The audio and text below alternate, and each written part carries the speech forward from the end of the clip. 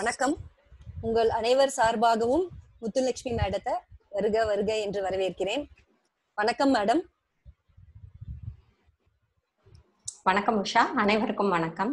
எல்லா பார்ட்டிசிபென்ட்ஸ் உங்க எல்லாருக்கும் வணக்கம். கேள்வி கேட்க விரும்புறவங்க ரெய்ஸ் ஹேண்ட் ஆப்ஷன் யூஸ் பண்ணலாம்.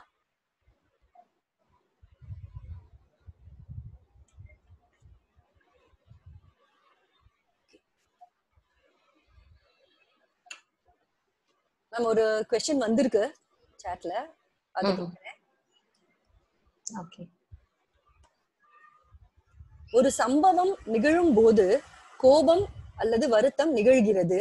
அதாவது நிகழ்காலத்தில் ஏற்பட்டு கொண்டு இருக்கிறது. பிரசன்ட் கண்டினியூஸ் அவ்வாறு இருக்க உணர்ச்சிகளை அது முடிந்து செல்லும் போதுதான் அதாவது இடி சத்தம் முடிந்தவுடன் தான் நாம் லேட்டாக உணர்வதை போல நமக்கு தெரிய வருகிறது என்று கூறுவது எப்படி? தயவு செய்து விளக்க முடியுமா? அப்படின்னு சுவாமிநாதன் சென்னை நாற்பத்தி நாலுல இருந்து கேட்டிருக்காரு மேம் ஓகே ஸோ டெக்னிக்கலா இதுக்கு பதில் சொல்ற மாதிரி இருக்கும். ஸோ ஐயா வந்து நமக்கு இந்த புரிதலை கொடுக்கும்போது ரெண்டு மூணு லாங்குவேஜ்ல மனசை வந்து பிரிச்சு ஒன்று ஒண்ணு வந்து அடிமனம் புறமணம் இல்ல வெளிமனம்னு பிரிச்சு கொடுத்துருப்பாங்க. இன்னொன்னு வந்து உணர்ச்சி பகுதி அறிவு பகுதி அப்படின்னு ஒரு இது கொடுத்துருப்பாங்க. அப்படியே சில சில இதுல பிரிச்சு கொடுக்குறப்போ இந்த இடத்துல ஹம், இந்த கேள்வியை நம்ம எப்படி புரிஞ்சுக்கணும் அப்படின்னு சொன்னா அந்த அடிமனம்ங்கிறது வந்து அன்கான்ஷியஸ் பார்ட் நம்மளோட நாம அறியாத பகுதி. நமக்கு தெரியும் ஒரு ஐடியா இருக்கும் ஆனா அது எப்ப செயல்படும் எப்படி செயல்படும் அப்படின்னு நம்மளால வந்து உறுதியா சொல்ல முடியாது.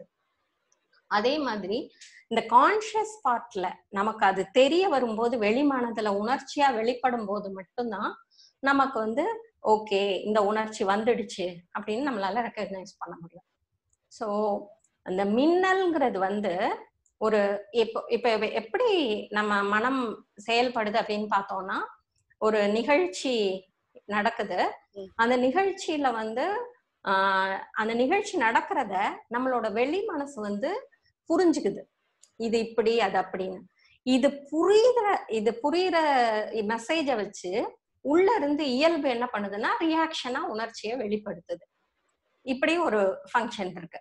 இப்போ இந்த வெளிப்படுத்துற உணர்ச்சி திருப்பியும் வந்து உள்ள இருந்து தான் வருது. மேல் மனத்துக்கு வந்து வெறும் புரிதல் மட்டும்தான் நடக்குது. அந்த புரிதலை வச்சு அடிமனம்ங்கிற நம்மளோட இயல்புல இருந்து ஒரு வெளிப்பாடு வருது. அது வந்து ரியாக்ஷன்னு சொல்றோம். சோ இது வந்ததுக்கு அப்புறமா நமக்கு வந்து அந்த உணர்ச்சி தெரியுது. இப்போ இந்த இடத்துல வந்து அந்த மின்னல்ங்கிறது வந்து அந்த நம்ம புரிஞ்சுக்கிட்ட உடனேயே அடிமனதுல இருந்து நம்ம இயல்புக்கு ஏத்தாப்புல ஒரு உணர்ச்சி வெடிக்குது. சப்போஸ் ஒரு எக்ஸாம்பிள் எடுத்துக்கலாம். இப்போ வந்து நாய் இல்லைன்னா காக்ரோச் வீட்லயே சும்மா நமக்கு ஏதோ ஒண்ணு பூனை சில பேருக்கு வந்து நாயை பார்த்தா பயம் இருக்கும். ஓகே காக்ரோச்சை எடுத்துப்போம். பாத்ரூம்ல வந்து ஒரு கரப்பாம்பூச்சி இருக்குது. ஸோ வீட்ல இருக்கிற அத்தனை பேரும் கரப்பாம்பூ பூச்சிக்கு பயப்படுவாங்களான்னா கிடையாது. ஒருத்தருக்கு பயம் இருக்கும் ஒருத்தருக்கு அருவருப்பு இருக்கும் இன்னொருத்தவங்களுக்கு ஒண்ணுமே இருக்காது. அவங்க பாட்டுக்கு போவாங்க யூஸ் பண்ணிட்டு வந்துடுவாங்க பாத்ரூம் அப்போ இது எப்படி செயல்படுது அப்படின்னு பார்த்தோம்னா அப்போ அந்த கரப்பாம்பூச்சியை பார்த்த உடனே இந்த மனசு வந்து இது கரப்பாம்பூச்சின்னு ரெக்கக்னைஸ் பண்ணுது வெளி மனசு. ரெக்கக்னைஸ் பண்ண உடனே உள் மனசுல வந்து நம்ம இயல்புக்குள்ள பதிவுகள் இதுக்கு முன்னாடி நம்ம எப்படி பதிச்சு வச்சிருப்போம்னா கரப்பாம்பூச்சினாலே அருவருப்பு அப்படின்னு நமக்கு ஒரு பதிவு இருந்தா உடனே அது அருவறுப்பு தான் கொண்டு வந்து நமக்கு கொடுக்கும். அதே இது கரப்பாம்பூச்சின்னா பயம் அப்படின்னு ஐயோ அது என்ன கடிச்சிடுமோன்ட்டு ஏதோ ஒரு நமக்கு தாட் இருந்ததுன்னா அது போய் பயத்தை கொண்டு வரும். சப்போஸ் இன்னொருத்தங்களுக்கு வந்து அது வெறும் ஒரு பூச்சி தான் அது ஒண்ணும் பண்ணாது அப்படிங்கிற ஒரு தெளிவு இருந்ததுன்னா அவங்க அதை அப்படிதான் புரிஞ்சுப்பாங்க. அப்படி புரிஞ்சுக்கிட்ட உடனே அவங்க அடிமனசுல இருந்து அதுக்கான பெரிய உணர்ச்சிகள் வராது. ஒரு பூச்சி பூச்சியை பார்த்த ஒரு ஃபீல் அவ்வளவுதான். அதுக்கு மேல அங்க வந்து பெரிய ஸ்ட்ராங்கான ஃபீலிங்ஸ் இருக்காது. ஸோ இந்த மாதிரி இந்த மின்னல்ங்கிறத எப்போ சொல்றோம் அப்படின்னு சொன்னா இந்த பயப்படுறவங்க இருக்காங்க இல்லையா? அது இல்ல கோபம் ஏதோ ஒரு உணர்ச்சி வருத்தம். ஆஹ் இந்த கரப்பாம்பூச்சி விஷயத்துல சொல்லல. சூழல்ல வந்து ஏதோ ஒண்ணு நடக்குது. நடக்கும் போது மின்னல் மாதிரி அந்த உணர்ச்சி வந்து ஸ்ட்ராங்கா வெளிப்படும் இல்லையா?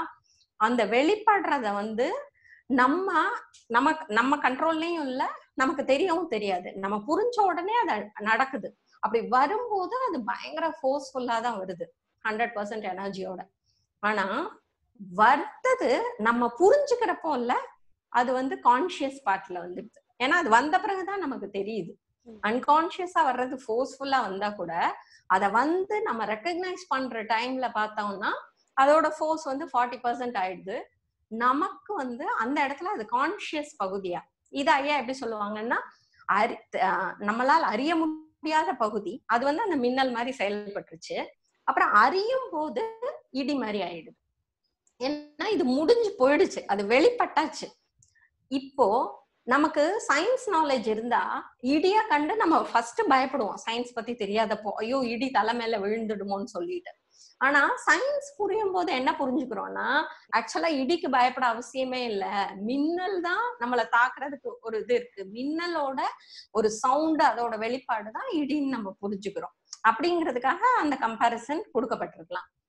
நம்ம இத வந்து டெக்னிக்கலா இப்படி பாக்குறத விட இன்னும் நம்ம எப்படி புரிஞ்சுக்கலாம்னு சொன்னா எப்போ வந்து நம்ம அறியும் போது அந்த உணர்ச்சி நமக்கு தெரியுதோ அப்போ நமக்கு அறிவுக்கு வந்து அங்க மூணாவதா ஒரு ஃபங்க்ஷன் இருக்கு. அப்படி நமக்கு தெரிஞ்ச உடனே அதை நிர்வகிக்கிற ஒரு திறன் வந்து நம்ம அதை தான் பகுத்தறிவுன்னு சொல்றோம். ஃபர்ஸ்ட் பகுத்தறிவு வந்து புரிஞ்சுக்கிடுது நான் அனுபவிக்கிறேன் அப்படின்னு புரிஞ்சுக்குது. அந்த அனுபவத்தை வச்சு செயல்படுறதுக்கு நமக்கு ஒரு சின்னதா ஒரு சாய்ஸ் இருக்கு. அத வந்து நம்ம என்ன பண்றோம்? அங்கதான் இந்த எக்ஸாம்பிள் வரும். ஒரு மேலதிகாரிய பார்த்தா நமக்கு கோபம் வந்தா உடனே அத வந்து ஐயோ ஒரு மேலதிகாரி அப்படின்னு சொல்லிட்டு நம்ம அந்த கோபத்தையே சப்ரஸ் பண்ணிடுறோம். அதே இது கீழே இருக்கிறவங்க நமக்கு கீழே இல்ல பலம் இல்லாதவங்கன்னா நம்ம வந்து அதை அப்ளை பண்ணிடுறோம். இந்த நிர்வகிக்கிற பகுதி வந்து நம்ம கிட்ட கொஞ்சம் ஸ்ட்ராங்கா இருக்கு அந்த இடத்துல. சோ இந்த பேசிஸ்ல வந்து அது மின்னல்னா கூட நம்ம வந்து இடிய கண்டு பயப்படவே தேவையில்லை. ஆனா நம்ம இடிய பார்த்து பயப்படுறோம். சோ அத மாதிரி உணர்ச்சி நமக்கு தெரிய ஆரம்பிக்கும் போதே பயப்பட தேவையில்லை. ஏன்னா மறைஞ்ச அது மறையிற நிலை தானே. இடினாலே அது போயிடுச்சு மின்னல். அவ்வளவுதான். அந்த மாதிரியே உணர்ச்சிங்கிறது மறந்துடுது. ஆனா எங்க அப்போ அது திருப்பி புதுப்பிக்கப்படுது அப்படின்னு பார்த்தா நம்ம அதை பயந்து பொறுப்பெடுத்துட்டோம்னு வச்சுக்கோங்க. ஐயோ இது நமக்கு இப்படி ஆயிடுச்சே நம்ம அதை ஏதோ பண்ணணும் அப்படின்னு சொல்லி உணர்ச்சிக்கு பொறுப்பெடுக்கிறப்போ அது திருப்பி புதுப்பிக்கப்படுது. உணர்ச்சிக்கு பொறுப்பெடுக்க தேவையில்லை நீங்க ஒண்ணுமே செய்ய தேவையில்லைன்னு சொல்றதுக்கு காரணம் என்னன்னா அது மறைய போகுது. இப்ப வான வேடிக்கையும் ஐயா சொல்லுவாங்க. ஒரு புஸ்வானமோ ஏதோ ஒண்ணு. அது வெடிக்கும் போதுதான் அது ஃபுல்லா அதோட சவுண்டோ இல்லைன்னா அதோட இது வெளிப்பாடோ தெரியுது. அப்படின்னால என்ன அர்த்தம்னா வெடிச்சு முடிஞ்சிடுச்சு. திருப்பி நம்ம வந்து அதுல கை வைக்கிறோம் அப்படின்னு சொன்னா நம்ம திருப்பி கவனத்தை கொடுத்து நம்ம பொறுப்பு எடுக்கும் போது திருப்பி அது ரிப்பீட் ஆயிட்டே இருக்கு அந்த சைக்கிள் அதனால அத ஒரு டெக்னிக்கல் ஆஸ்பெக்டுக்காக இன்னும் ஈஸியா புரியறதுக்காக நிறைய எக்ஸாம்பிள் கொடுக்குறப்போ அந்த மாதிரி கொடுத்துருக்காங்க. ஸோ நம்ம வந்து ஏதோ ஒரு அனாலஜி கொடுக்குறாங்க. ஏதோ ஒரு தொடர்பு படுத்தி எளிமையாக்குறதுக்கு சொல்றாங்கன்னா நம்ம எடுத்துக்க வேண்டிய மெசேஜ் என்னன்னா நம்மளுடைய இயல்பு பகுதியை வந்து நாம டைரக்டா போய் கண்ட்ரோல் பண்ணி கம்ப்ளீட்டா மாத்த முடியாது. நம்மளுடைய இயல்பை வந்து நம்ம அறிவை வந்து போராடி அதை மாத்துறேன்னு ட்ரை பண்ணி ஜெயிக்க முடியாது. ஸோ இயல்புல குற்றம் குறைகள் இருந்தாலும் அதை புரிஞ்சுக்கிறதோட விட்டா போதும். அது அதுவாவே போயிட்டே தான் இருக்கு. ஸோ இது அதுவாவே போனதுக்கு அப்புறமா நாம வந்து என்ன குறைன்னு புரிஞ்சுக்கிட்டா போதும். அதுவே வந்து நிவர்த்திக்கு வழிவகுக்கும். நாம போய் ஃபோர்ஸ்ஃபுல்லா நம்ம வந்து இது வெளிப்படக்கூடாதுன்னு நினைக்க முடியாது. நாம இப்படி இருக்க கூடாதுன்னு முடிவு எடுக்க முடியாது. அப்படி நிறைய தோணுது. பட் இப்போதைக்கு இது போதும். நன்றி மேம். கேள்வி கேட்க விரும்புறவங்க raise ஹேண்ட் ஆப்ஷன் யூஸ் பண்ணலாம்.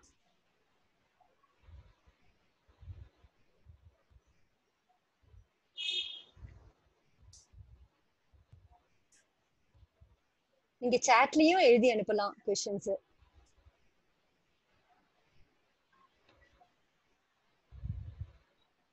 மேம் இன்னொரு கொஸ்டின் வந்திருக்கு. இங்கிலீஷ்ல கேட்டிருக்காங்க. நான் தமிழ்ல டிரான்ஸ்லேட் பண்ணி பண்ணி சொல்றேன். உறவில் எப்படி சக்சஸ்ஃபுல்லா இருக்கிறது? அதாவது ஒரு ரிலேஷன்ஷிப் அப்படின்னா அதுல எப்படி சக்சஸ்ஃபுல்லா இருக்கிறது?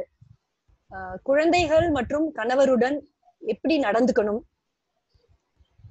எப்படி என்னோட பெஸ்ட் கொடுக்கணும்? அட் த சேம் டைம் நான் வந்து ஹர்ட் ஆகாம இருக்கணும். இது எப்படி சாத்தியம் அப்படின்னு கேட்டிருக்காங்க. So, மூணு. கொஸ்டின்ஸ் கேட்டிருக்காங்க. ஒண்ணொன்னா சொல்லட்டுமா? இல்ல மூணு சேர்த்து சொல்றீங்களா? ஓகே ரிலேஷன்ஷிப்ல எப்படி சக்சஸ்ஃபுல்லா இருக்கிறது அப்படிங்கிற ஃபர்ஸ்ட் பாயிண்ட் பார்க்கலாம். ஸோ இந்த இடத்துல வந்து சக்சஸ் அப்படிங்கிற இதுக்கு வந்து நம்ம என்ன டெஃபினிஷன் கொடுத்து வச்சிருக்கோம் அப்படின்னு சொன்னா ஜெயிக்கிறது. அப்படிதானே? ஒரு விஷயம் நடந்தா ஜெயிக்கிறதுனா என்னன்னா நமக்கு சார்பா தீர்ப்பு வர்றது. அப்படிங்கிற மாதிரி. ஸோ அந்த டெஃபினிஷன் நீங்க ரிலேஷன்ஷிப்ல அது ஒர்க் ஆகாது. ஸோ ரிலேஷன்ஷிப்பை பொறுத்த வரைக்கும் சக்சஸ்ஃபுல்லா டீல் பண்றது அப்படின்னா அங்க வந்து அன்பு தான் அந்த ரிலேஷன்ஷிப்போட ஒரு அழகான ஒரு இணைஞ்சுக்கிறத ஏற்படுத்தும். இல்லாட்டா எப்பவுமே பிணக்கு இருந்துகிட்டே இருக்கும். அது வந்து திருப்பி திருப்பி போராட்டத்தை கிரியேட் பண்ணிட்டே இருக்கும். சோ இந்த இடத்துல இப்போ இவங்க வந்து புரிதல்ல ஏற்கனவே இருக்கிறவங்க. அப்போ இவங்க ஃபர்ஸ்ட் பாயிண்ட் என்ன புரிஞ்சுக்கணும்னா நம்மளோட இயல்பு இந்த புரிதலுக்கு வர்றதுக்கு முன்னாடி நிறைய குறைநிறைகளோட தான் இருந்தது. சோ இந்த குறைநிறைகளை நாம வந்து குறை கண்டுபிடிச்சுக்கிட்டே இருந்த வரைக்கும் இன்னும் இன்னும் மோசமாயிட்டே ஸ்ட்ராங் ஆயிட்டே தான் நம்ம போகணும். நம்மளால வந்து சில இடத்துல சரி பண்ணிக்க முடியற மாதிரி தெரிஞ்ச கூட மோஸ்ட்லி நம்மளால எதுவுமே கம்ப்ளீட்டா பண்ண முடியல. பிளஸ் நம்மளே நினைச்சிருப்போம் கோபத்தை ஜெயிச்சிட்டோம்னு சொல்லிட்டு. ஆனா பார்த்தா எங்கேயோ வந்து அது நமக்கு வந்து ப்ரூவ் பண்ணும். இல்ல நீ கோபத்தெல்லாம் வெல்லல அப்படின்னு சொல்லிட்டு. சோ எல்லா உணர்ச்சிகளுமே இருக்கும்போது அதுல ஒரு செட் ஆஃப் உணர்ச்சி வந்து நம்மளோட இயல்பா ஸ்ட்ராங்கா இருக்கு. அப்படி இருக்கிற உணர்ச்சிய நம்ம எப்படி அப்ப ஜெயிச்சோம்? நம்ம வந்து அதுகிட்ட மண்டிட்டோம். ஓகே என்னால ஜெயிக்க முடியாது. நீ இருந்துக்கோ. நான் வந்து என் செயலை மட்டும் நான் சரியா பண்ணிக்கிறேன் அப்படின்னு நம்ம அறிவு வந்து தன்னையே புரிஞ்சுக்கிட்டு தன்னோட ஆஹ் தகுதி என்ன அப்படின்னு புரிஞ்சு டோட்டலா வந்து நம்ம இயல்புக்கு நம்ம ஓகே கொடுக்குறோம். அப்போ என்ன ஆகுதுன்னா அந்த இயல்பு வந்து ஓடி மறைஞ்சு மறைஞ்சு மறைஞ்சு நம்ம இயல்பும் கரைஞ்சு கரைஞ்சு போறதையும் நம்ம விட்னஸ் பண்றோம். இப்போ என்ன பண்றோம்னா புற வாழ்க்கை. புற வாழ்க்கைனா ஃபேமிலி ஆஃபீஸ் சொசைட்டி எது வேணா எடுத்துக்கலாம். சோ இப்ப ஃபேமிலியில இருக்கிற மெம்பர்ஸ் எப்படி இருக்காங்க? அவங்க இந்த புரிதல்ல இருக்கிறாங்களா? இல்ல. மோஸ்ட்லி இப்போ இந்த கேள்வி கேட்ட உங்க வீட்டுல வந்து ஹஸ்பண்டோ இல்லைன்னா குழந்தைங்களோ இல்ல அப்படிங்கிற மாதிரி தான் அவங்க கேள்வியோட இது தெரியுது. சோ அவங்க அப்படி இல்ல அப்படிங்கிறப்போ இப்ப நம்ம என்ன புரிச்சுக்கணும்னா நம்மளையே நாம வந்து ஹாஷா ஃபோர்ஸ்ஃபுல்லா மாத்தவே முடியல. அன்கண்டிஷனலா நம்ம ஆனதுக்கு அப்புறம் தான் நமக்குள்ள ஒரு சேஞ்ச் வந்தது. சோ அதே மாதிரி இப்போ அவங்க ஒரு இயல்புல இருக்காங்க. அவங்க ஒரு இயல்புல இருக்கிறதுக்கு அவங்களுக்கு ஒரு காரணம் இருக்கும். அவங்க நான் சரி இல்ல நான் இந்த இடத்துல இது தப்பு அப்படின்னு சொல்லி தானே அவங்களும் ஒரு இயல்பா செட் ஆகியிருப்பாங்க சோ அந்த இயல்ப நாம வந்து ஃபோர்ஸ்ஃபுல்லா மாத்த முடியுமா? மாத்துறது சரியா இல்ல நியாயமா? இந்த கேள்வி கேட்டாலே நமக்கு வந்து ஒரு எம்பத்தியும் வந்துடும். அதை விட ஒரு கிளாரிட்டி நல்லா வந்துடும். ஸோ அவங்கள வந்து நம்ம வந்து மாத்த முடியாது மாத்த தேவையும் இல்லை அப்படிங்கிற ஒரு இது வந்துடும். ஸோ இந்த மாதிரி ஒரு கிளாரிட்டி வரும்போது அவங்கள புரிஞ்சுக்கும் போது என்ன ஆகும்னா அவங்க மேல வெறுப்பு வர்றதோ அவங்கள குத்தம் சொல்றதோ ஃபர்ஸ்ட் நமக்கு குறையும். இது. இந்த பாயிண்ட புரிஞ்சுக்கும் போதுதான் அது நடக்கும். உடனே எல்லாம் மாறிடும் சொல்லல. சோ நமக்கு புரிதல் எப்படி ஏற்பட்டதுன்னு தெளிவு இருந்தா நம்ம மத்தவங்கள டீல் பண்ணும் போதும் அந்த டீலிங்க்கு வந்து இது வந்து ரொம்ப ஹெல்ப்ஃபுல்லா இருக்கும். சோ இப்ப என்ன பண்றோம்னா அவங்கள அன்கண்டிஷனலா ஏத்துக்கிறோம் மனசளவுல. அப்பவே வந்து அவங்களுக்கு நம்ம ஃப்ரீடம் கொடுத்துடுறோம். அப்போ நம்மளோட மோட்டிவ் என்னவா இருக்கும்னா அந்த இடத்துல ஃப்ரீடம் கொடுக்குறோம்னா என்ன அர்த்தம்? அவங்கள போய் மாத்தி ஆகணும் அவங்கள கண்ட்ரோல் பண்ணி ஆகணும். இல்ல அவங்களுக்கு நல்லதை நான் செஞ்சேன் இதெல்லாம் டிராப் ஆகும் ஆட்டோமேட்டிக்கா இது டிராப் ஆயிடுச்சுன்னா அப்ப ஆனா அட் த சேம் டைம் நம்ம டீல் பண்ணியும் ஆகணும். நம்ம கூடயே இருக்கிறவங்க. இப்ப சப்போஸ் வெளியில இருக்கிறவங்க எப்பவும் மீட் பண்றவங்கன்னா நம்ம வந்து டக்குன்னு ஒரு இம்பல்சிவா கூட பிஹேவ் பண்ணிட்டா அதுக்கப்புறமா கூட நம்ம வந்துடுவோம். பட் ரெகுலரா நம்ம கூட இருக்கிறவங்களே நம்ம அடிக்கடி மீட் பண்ற இருக்கிறவங்க நம்ம ஸ்பேஸ ஷேர் பண்றவங்களோட நமக்கு இப்படி நடக்குதுன்னா அப்ப என்ன புரிஞ்சுக்கிறோம்னா ஓகே அவங்கள வந்து நம்ம மாத்தவே நினைக்கவே மாட்டோங்கிற அந்த மோட்டிவ் கீழே விழுந்ததுக்கு அப்புறமா அவங்கள்ட்ட எதை எடுத்து சொல்லணுமோ அத எப்படி சொல்லலாம் எப்போ சொல்லலாம் அப்படின்னு அந்த பர்சனுக்கு தான் தெரியும். நம்ம இங்க இருந்து சொல்ல முடியாது. யார் யார் எந்தெந்த சூழல்ல இருக்காங்களோ அவங்களுக்கு தான் தெரியும். அப்ப அவங்களோட இயல்புல இருந்து அவங்க எப்படி யோசிப்பாங்க? அப்போ அதை நம்ம எப்படி கன்வே பண்ணா அது அவங்களுக்கு ரீச் ஆகும்? இப்படின்னு சொல்லிட்டு நம்மளாலதான் ஒரு நிதானமா சிந்திக்க முடியும். ஸோ இந்த இந்த பாயிண்ட் எல்லாம் புரிஞ்சிச்சுன்னா அதனாலதான் சொல்றோம் இந்த ஞானம் தான் இந்த புரிதல் தான் வாழ்க்கைக்கே ரொம்ப அடிப்படையான தேவை வாழ்வதற்கே. ஸோ இந்த புரிதல் வந்துடுச்சுன்னா அப்புறம் என்ன ரோல் பிளே பண்ணாலும் நம்ம மனம் விடுபட்டு இருக்கிறதுனால நம்மளால வந்து உணர்ச்சியில இருந்து விடுபட்டு நிதானமா யோசிச்சு எப்படி டீல் பண்றதுங்கிறத நம்ம புரிஞ்சுக்கிட்டே டெவலப் பண்ணிக்க முடியும். ஆஹ் சோ எந்த ரோல் பிளே பண்ணாலும் சரி இந்த புரிதல் சரியா இருந்து அதுவும் தெளிவா இருந்ததுன்னா இந்த டீலிங்கிறதும் நமக்கு வந்து சரியா அமைச்சுக்க முடியும். சோ அப்ப போயிட்டு நம்ம வந்து இந்த சூழலுக்கு இவங்ககிட்ட இப்படி ஹஸ்பண்ட்னா இப்படி பிஹேவ் பண்ணுமா? பொண்ணுன்னா இப்படி பிஹேவ் பண்ணுமா? அப்படி சொல்லி கால்குலேஷன்லாம் கிடையவே கிடையாது அங்க. அங்க வந்து சிம்பிளி அவங்கள ஏத்துக்கிறோம் குறை நிறைகளோட. ஏன்னா நம்மள நம்ம அப்படி ஏத்துக்கிட்டோம். ஆனா குறைய சுட்டி காட்டுறத எப்படி பக்குவமா சுட்டி காட்டுறது அப்படின்னு யோசிச்சுக்கிறோம் அது வந்து கன்னிங்னஸ்ல வராது. அது ஒரு அக்கறையில அதுதான் நிஜமாவே அன்புல வரும். மத்ததெல்லாம் அட்டாச்மெண்ட்ல வர்றது. அது வந்து என்னைக்குமே பலிக்காது. திருப்பி திருப்பி திருப்பி போராட்டம் தான் இருக்கும். சூப்பர் சூப்பர் அடுத்த கேள்வி குழந்தைகள் அண்ட் கணவர்கள்ட்ட எப்படி பிஹேவ் பண்ணணும் எப்படி நடந்துக்கணுங்கிறதும் இதுலயே கவர் ஆயிடுது இல்லையா? ஆமா. மூணாவதா அவங்க கேட்டிருக்கிறது நான் எப்படி என்னோட அத அதுல மெயின் ஃபேக்டரே வந்து மெயின் ஃபேக்டரே வந்து கண்ட்ரோல் பண்ண முடியாது ஃபர்ஸ்ட் அடுத்து கண்ட்ரோல் பண்ண தேவையில்லை. ஆனா நம்ம வந்து கம்யூனிகேட் மட்டும் பண்ணணும். இந்த மூணு விஷயமும் அவங்க தெளிவா என்னன்னு புரிஞ்சுக்கிட்டாங்கன்னா அந்த வீடே சொர்க்கமா கொஞ்சம் கொஞ்சமா மாறுறதையும் அவங்க வந்து பார்க்க முடியும். மூணாவதா அவங்க கேட்டிருக்கிறது என்னோட பெஸ்ட நான் கொடுத்துட்டு அட் த சேம் டைம் நான் வந்து ஹர்ட் ஆகாம இருக்கணும். இது எப்படி. சாத்தியம் அப்படின்னு கேட்டிருக்காங்க. அதான். மோட்டிவ் மோட்டிவ் இல்லாம நாம அவங்கள வந்து எதையோ நம்ம வந்து கம்யூனிகேட் பண்ணோம்னா அவங்க பொறுமையா தான் வருவாங்க. பட் நமக்கு மோட்டிவ் இருந்தாதான் நம்ம உடனே ரிசல்ட் எதிர்பார்ப்போம். அவங்க மாறிட்டாங்களா? இப்போ இப்படி சொன்னாங்களே அப்படி இப்படின்னு சொல்லிட்டு. நம்ம மோட்டிவே இல்லாம நம்ம எப்படி உள்ளுக்குள்ள வந்து நம்ம எந்த மோட்டிவும் வச்சுக்காம சரண்டர் ஆனோமோ அதே மாதிரியே அவங்க கிட்ட சேஞ்ச் நம்மளையே நம்மளால கண்ட்ரோல் பண்ண முடியல அப்ப அவங்களையும் கண்ட்ரோல் பண்ண முடியாது அப்படின்னு புரிஞ்சு மோட்டிவ் அத்தனையும் கீழே விழுந்துடணும். விழுந்துட்டு சொல்றது மட்டும் நம்ம வேலை அதை சொல்லுவோம் அப்படிங்கிறப்போ பெஸ்டா அதுவே நடக்கும். நம்ம ஏற்கனவே அதை பார்த்துருக்கோம். ஒரு செஷன்ல வந்து நம்ம வந்து மோட்டிவ் வச்சுக்கிட்டே நம்ம போனோம்னா அது திருப்பி திருப்பி சுத்தி சுத்தி விட்டுட்டே இருக்கும். மோட்டிவ் எல்லாம் கீழே போட்டுட்டு கடமையை மட்டும் செய்யறோம்னு ஒரு முடிவு எடுத்து நம்ம பண்ணோம்னா அது ரொம்ப ஃபாஸ்டாவே வரும். பட் அதையும் திருப்பி மோட்டிவ் ஆக்க வேண்டாம். அதுதான் பாயிண்ட் ஓகே நன்றி மேம் கேள்வி கேட்க விரும்புறவங்க ரைஸ் ஹேண்ட் ஆப்ஷன் யூஸ் பண்ணலாம்.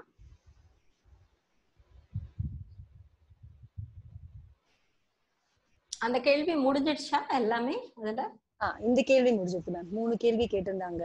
அது முடிஞ்சு போச்சு. ஓகே. இன்னொரு கேள்வி வந்திருக்கு சாட்ல இதுவும் இங்கிலீஷ்ல இருக்கு. நான் டிரான்ஸ்லேட் பண்ணி சொல்றேன். ஓகே. ஒருத்தவங்க கேட்டிருக்காங்க நான் வந்து ஹவுஸ் ஒய்ஃபா இருக்க டிசைட் பண்ணேன்.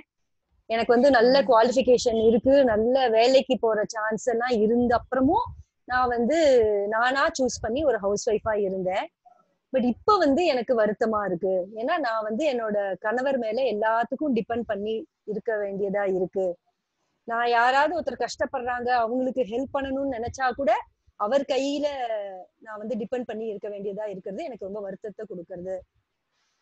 என் கணவர் வந்து நிறைய பணம் செலவழிக்கிறாரு. பட் அவர் வந்து ஒரு நிமிஷம். ஆஹ் நீ வந்து நம்ம பணம் கேட்டோம் அப்படின்னா அவர் வந்து நீ வந்து சம்பாதிக்கல. அதனால நீ என்னோட நான் சம் என்னென்ன செலவழிக்கிறேனோ அதுல வந்து நீ தலையிடக்கூடாது அப்படின்னு அவர் சொல்லிடுறாரு. அது வந்து எனக்கு ரொம்ப வருத்தத்தை ஏற்படுத்துறது.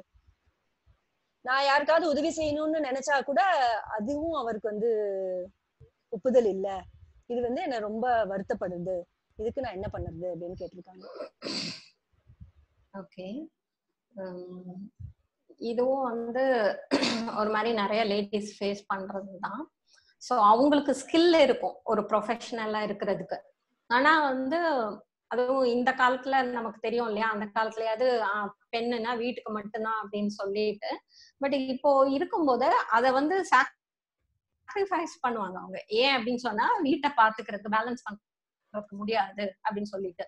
ஸோ இந்த இடத்துல வந்து இவங்க வந்து சாக்ரிஃபைஸ் பண்ணி வீட்டுக்காக அவங்க வேலைய விட்டுருக்காங்க. விட்டுட்டு வீட்டு இது அப்போ நேச்சுரலாவே ஃபினான்ஸ் வந்து அவங்க ஹஸ்பண்டோட ரெஸ்பான்சிபிலிட்டி ஆயிடுது வீடு இவங்களோட ரெஸ்பான்சிபிலிட்டி ஆயிடுது. அப்படி இருக்கும்போது அவர் வந்து அவரு ஒரு ஸ்பென் த்ரிஃப்டா அவர் விருப்பப்படி அவர் செலவு பண்ணிக்கிறாரு. இது ஒரு ஆஸ்பெக்ட் அதே நேரம் இவங்க செலவு பண்ணணும்னு விரும்பினா நீ சம்பாதிக்கவே இல்லை. நீ எப்படி நீ கேப்ப நான் தானே ஏர்ன் பண்றேன் அப்படின்னு சொல்றது ஹர்ட் பண்ணுது அப்படிங்கிற மாதிரி சொல்லியிருக்காங்க. ஸோ இந்த இடத்துல இவங்க எப்படி டீல் பண்ணலாம்னா ஒன்று வந்து சொல்லணும் அவர்கிட்ட. அந்த டைம்ல இல்லாட்டா கூட என்னைக்கோ ஒரு நாள் உட்காரும் போது எனக்கும் இந்த ஸ்கில் செட் இருந்தது இல்லையா? வீட்டை பாத்துக்கிறதுக்காக தான் நான் வேலைக்கு போல அப்படிங்கிற அவங்க அவங்களோட பொசிஷன் அவங்க ஏன் இன்னைக்கு இப்படி இருக்காங்கிறத அவங்க அவர்கிட்ட ஓபன் பண்ணி பேசணும் அத. திறமை இல்லாமையோ சம்பாதிக்க தெரியாமையோ நான் இப்படி இல்ல. நம்ம வீட்டுக்காக தானே நான் இப்படி இருந்தேன். அந்த பாயிண்டே கன்வே பண்ணும் அதே மாதிரியே யாருக்கோ ஹெல்ப் பண்ணும் அப்படிங்கிற ஆட்டிடியூட் வரும்போது நீங்க வந்து இந்த பாயிண்ட கொண்டு வர்றது வந்து எந்த விதத்துலயுமே அது சரியா தெரியலையே அப்படிங்கிற பாயிண்டையும் அவங்க எடுத்து சொல்லணும். என்னன்னா அத அந்த டைமே சொல்லாம அந்த பிரச்சனை வெடிக்கிற அன்னைக்கு சொல்லாம இவங்களுக்கு கூல் ஆயிடும். ஈஸியா இவங்க புரிதல்ல இருந்தா. பட் அவரும் ஒரு என்னைக்கு ஒரு கூலான ஒரு இதுல இருக்காரோ அன்னைக்கு கூப்பிட்டு இப்படி இப்படி இருக்கு பாத்துக்கோங்க அப்படிங்கிற விஷயத்த இவங்க கன்வே பண்ணணும். பண்ணினா அவங்களுக்கு அதுக்கு ஏதாவது ஒரு சொல்யூஷன் வரும். சொல்லாமே இருக்கணும்னு அவசியம் இல்லை. பட் அதையும் விட இவங்க அது ஹர்ட் ஆகுது அப்படின்னு சொல்லிட்டு ஹர்ட்டா நினைச்சு வருத்தப்படுறாங்கன்னா அப்போ திருப்பியும் புரிதல்ல பிரச்சனை ஆயிடும். ஹர்ட்டை நினைச்சு வருத்தப்பட வேண்டாம்.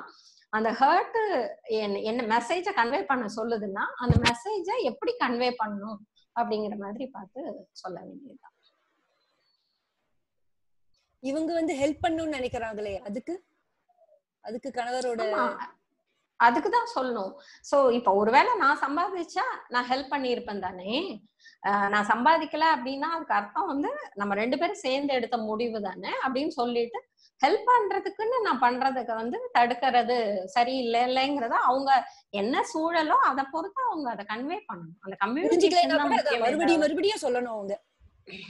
ஆமா. அதான் அந்த கம்யூனிகேஷன்ல நம்ம ஃபர்ஸ்ட் பார்த்த கொஸ்டினோட தொடர்ச்சி தான். சோ அவர் இப்படி இருக்காரேன்னு குறைப்பட்டுக்கிறத ஃபர்ஸ்ட் டிராப் பண்ணும் நம்மளால சம்பாதிக்க முடியலையேங்கிற ஒரு குறை இருந்ததுன்னா அதையும் விட்டுறணும். இப்போ என்ன நிகழ்காலத்துல இப்படிதான் இருக்கு. சோ இத புரிஞ்சுட்டு இவங்க ஃபர்ஸ்ட் சமாதானம் ஆயிடுறாங்க. அதுக்கப்புறம் அவர்கிட்டயும் ஒரு குறையா பார்த்து ஹர்ட் ஆறதுல இருந்து பேசாம ஓகே அவர் நேச்சர் அப்படிதான் இருக்கு. பட் எப்போ கன்வே பண்ணணுமோ அப்ப கன்வே பண்ணிடலாம் அப்படின்னு சொல்லி இவங்க வந்து அத பக்குவமா ஹேண்டில் பண்ணலாம். நன்றி மேம் கேள்வி கேட்க விரும்புறவங்க ரைஸ் ஹேண்ட் ஆப்ஷன் யூஸ் பண்ணலாம். இல்லைன்னா சாட்ல கேள்விகள் அனுப்பலாம்.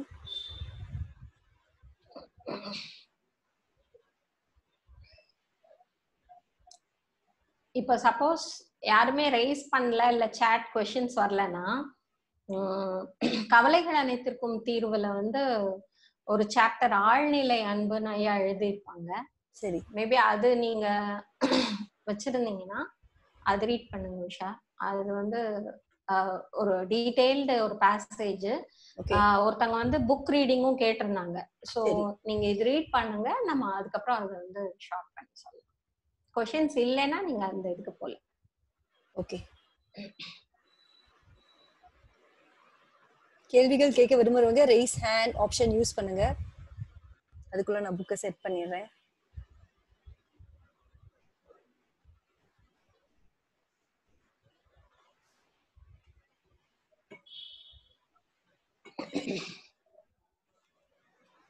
Okay ma'am படிக்கட்டுமா? படி. அந்த டாபிக்கோட படி. ஓகே இது வந்து கவலைகள் அனைத்திற்கும் தீர்வுங்கிற புக்ல வர இருபத்தி இரண்டாவது சாப்டர் ஆழ்நிலை அன்பு அப்படிங்கிற புக்கு சாப்டர் இது. அறிவியலில் பெரும் வளர்ச்சி அடைந்திருக்கிறோம். ஆன்மீகத்திலும் சமய போதனைகளிலும் நாம் அதிக அளவில் ஆர்வம் காட்டி வருகிறோம். ஆயினும் நமது சமுதாயத்தில் வன்முறை மிகுந்துள்ளது. சமுதாய பிரச்சனைகளும் வறுமையும் ஆதரவற்ற நிலையும் தாண்டவமாடுகின்றன. ஒழுக்கக்கேடுகள் மலிந்து காணப்படுகின்றன. அவற்றை சீரமைக்க வேண்டிய கடமையும் நம் ஒவ்வொருவருக்கும் உள்ளது. செயலற்று சும்மா இருக்க வேண்டும் என்ற தெளிவு நமது அகத்தை மட்டுமே சார்ந்தது. புறத்தளவில் செயல் வேண்டும். அனைத்து நடவடிக்கைகளையும் திறம்பட செயல்படுத்த செயல் செயல்படுத்த வேண்டும். அறத்தையும் தர்ம நியாயங்களையும் பேணி காக்க வேண்டும். ஒழுக்கமான வாழ்வுக்கு உரிய மரியாதையையும் உயர்வையும் அளிக்க வேண்டும். நம்முடைய அகத்தை பொறுத்த அளவில் நாம் நூறு சதவிகிதமாக செயல் முனைப்பு இல்லாமல் இருக்க வேண்டும். புறத்தை பொறுத்த அளவில் நூறு சதவீதமாக செயல்திறத்துடன் செயல்பட வேண்டும். அப்படியானால்தான் அகமும் புறமும் சமநிலைப்படும். ஒன்றுக்கு ஒன்று உறுதுணையாக இருக்கும்.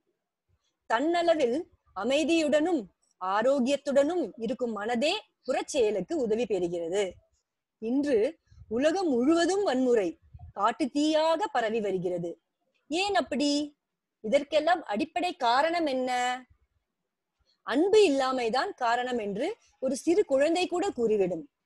அன்பு இல்லாத நிலையிலேயே வன்முறை சாத்தியமாகும். இது அனைவரும் அறிந்த வெளிப்படையான ரகசியம்.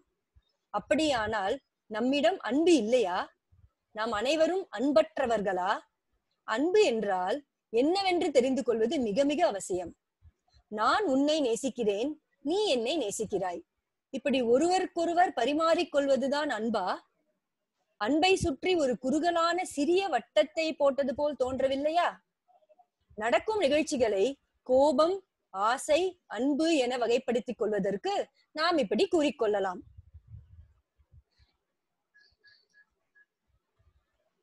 ஒருவருக்கொருவர் அன்பை செலுத்துவதாக எடுத்துக்கொள்ளலாம் ஆனால் நாம் எடுத்து கூற விழையும் அன்பு இதுவன்று.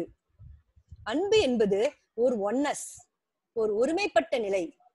அன்பு என்பது நம் அடி ஆழத்திலுள்ள யதார்த்த நிலை ஓர் உள்ளார்ந்த நிலை. நம்முடைய உள்ளார்ந்த அடி ஆழத்தில் நம் அனைவருடைய யதார்த்த நிலையும் ஒன்றாகவே உள்ளது.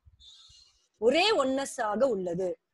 நம்முடைய அடி ஆழத்தில் உங்களுக்கும் எனக்கும் வேறுபாடு கிடையாது. முரண்பாடும் கிடையாது. ஆனால் எனது மனதின் ஓர் அடுக்கில் எனக்கென ஒரு தனி இயல்பு உள்ளது. அது எனது மன இயல்பு மட்டுமே. அதற்கும் எனது அடி ஆழத்திற்கும் சம்பந்தம் இல்லை எனக்கென ஒரு தனி மன இயல்பு உள்ளது போல் ஒவ்வொருவருக்கும் ஒரு தனி மனித மனித இயல்பு உள்ளது. எனது இயல்பு செயல்படும் போது எனது இயக்கம் ஒரு தனி இயக்கம் ஆகிறது உங்கள் இயக்கமும் இது போல் தனி இயக்கமாக ஆகிறது. உங்களுடைய இயல்பு எனக்கு பிடித்ததாகவும் என்னுடைய இயல்பு உங்களுக்கு பிடித்ததாகவும் சில வேளைகளில் அமைந்து விடுகிறது. அப்போது நாம் ஒருவருக்கொருவர் உடன்படுகின்றோம். ஒருவரை ஒருவர் நேசிக்கின்றோம். இது ஒரு தற்காலிக உடன்பாடே. நாம் கூறும் ஒன்னஸ் இதுவென்று. அது நமது இயல்புகளால் பாதிக்கப்படாத தனித்தன்மை உடையது. ஆனால் நமது இயல்புகள் அப்படிப்பட்டவை அல்ல. சில இயல்புகளை பொறுத்த அளவில் ஒருவருக்கொருவர் ஒத்துப்போவதே இல்லை. ஒத்துப்போகக்கூடிய இயல்புடையவர்களும் எல்லா நேரங்களிலும் ஒத்துப்போவதில்லை.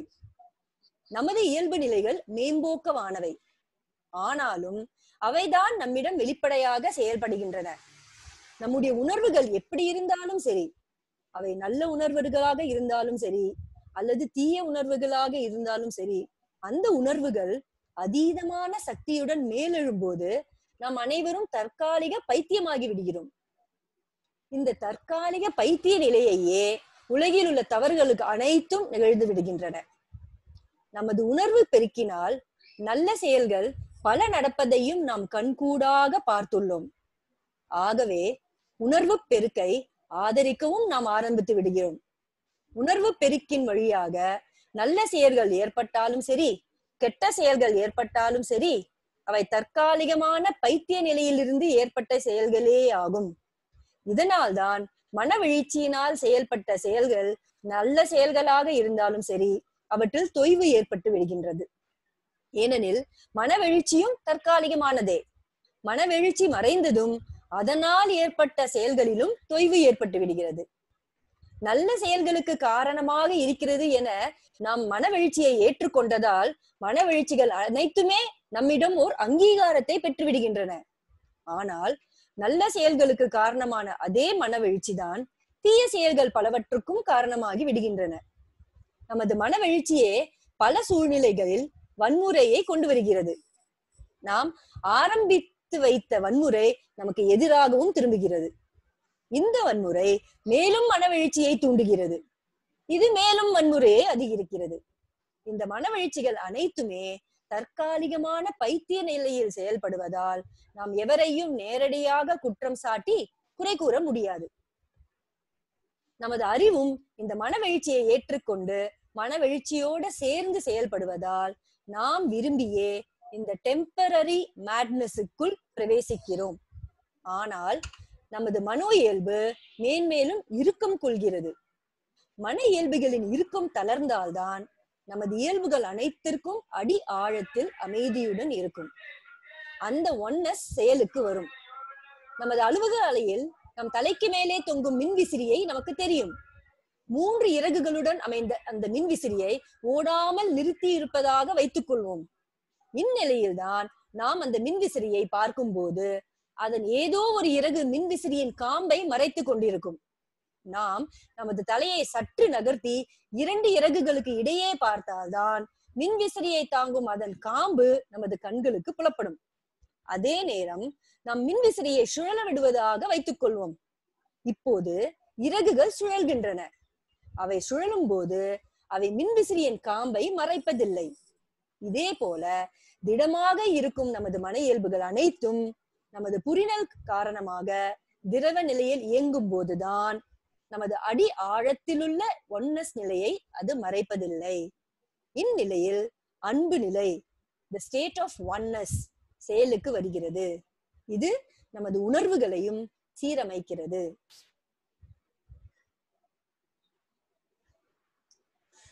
தேங்க்ஸ் சுஷா ரொம்ப பியூட்டிஃபுல்லான ஒரு பேசேஜ் ஒரு சாப்டர் அது. ஸோ ஒருவேளை கேட்குறவங்களுக்கு இதுல ஏதாவது கேள்வி இருந்தா நம்ம பதில் சொல்லலாம். இல்லாட்டா அவங்க ரொம்ப முக்கியமான விஷயம் என்னன்னா உணர்ச்சி வசப்பட்டு அந்த உணர்ச்சியில இருந்து நம்ம செயல்படுறது வந்து எப்பவுமே அது ஒரு டெம்பரரியாவும் இருக்கு. அது இன்னும் பிரச்சனைக்குரியதாகவும் இருக்கு. உணர்ச்சியில இருந்து விடுபட்டுட்டு அறிவுபூர்வமா நிதானமா நம்ம வந்து செயல்படும் போது அந்த செயல் வந்து சரியானதா இருக்கு அப்படிங்கிற ஒரு ஆஸ்பெக்டும் இதுல இருக்கு.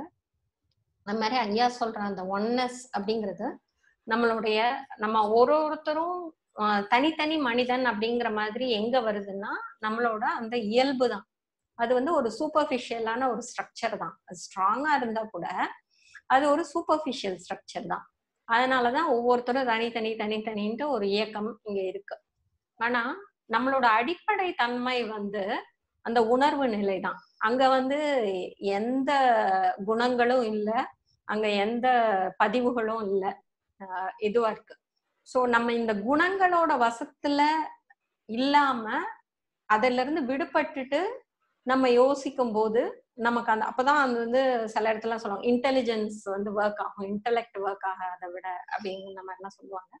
ஸோ அந்த அது வந்து ஒரு ஆஹ் உயர்நிலையில இருந்து வழிகாட்டப்படும் அப்படின்னும் நம்ம சொல்லுவோம். ஏன்னா நமக்கு வந்து எப்பவுமே மனித அறிவு வந்து ஒரு எல்லைக்குட்பட்டது. அது மட்டும் இல்ல அது நம்ம கூட இருக்கிறவங்களையே அவங்க இயல்புல இருந்து எம்பத்தைஸ் பண்ணி பார்க்க முடியாத ஒரு தன்மையுடையது. நம்ம ஒரு செயலுக்கு நமக்கு ஒரு நியாயம் இருக்கும்னா அவங்க செயலுக்கு அவங்களுக்கு நியாயம் இருக்கும்னு கூட இந்த அறிவுக்கு புரியாது. அது இல்ல இது சரி இது தப்புன்னு ஒரு பிடிவாதத்துல இருந்தே தான் இயங்கிட்டு இருக்கும்.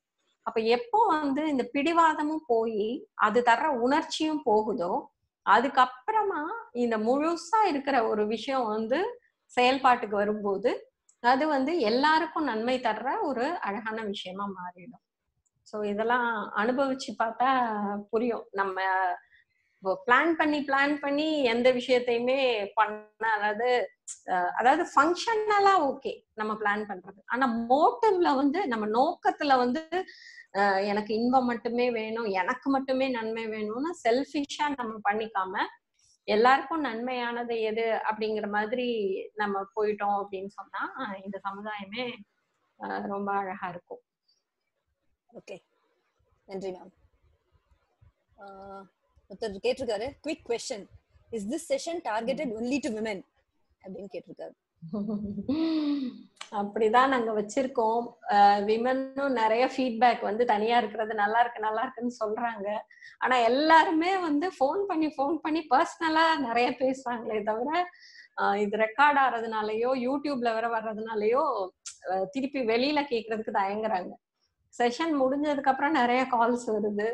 So maybe we can allow men also not an issue sir உங்க கொஸ்டின் ஆன்சர் ஆயிடுதுன்னு நினைக்கிறேன். ஸோ நீங்களும் கேள்வி கேட்க விரும்புறதா இருந்தா you can raise your hand we will unmute you நீங்க கேட்கலாம் சார்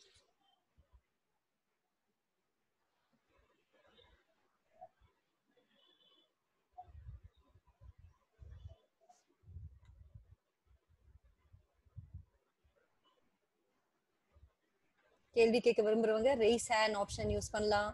இல்ல சாட்ல கேள்விகள் கேட்கலாம்.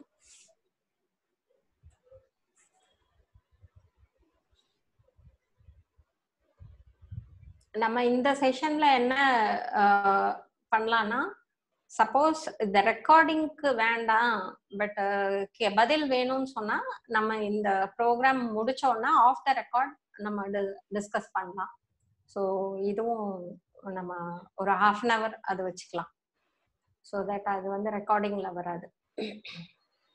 எஸ்பெஷலி புறத்துல எப்படி டீல் பண்றதுன்னு நிறைய பேருக்கு கேள்விகள் இருக்கு இல்லையா மேம் மேபி அந்த. கொஸ்டின்ஸ் நீங்க சொல்ற மாதிரி அப்புறமா வச்சுக்கலாம். இந்த புரிதலை பத்தி இருக்கிறத இப்ப நம்ம டிஸ்கஸ் பண்ணிட்டு. யாருக்காவது பர்சனலா புறத்துல ஏதாவது டவுட்ஸ் இருந்ததுன்னா அது after the recording we can continue yes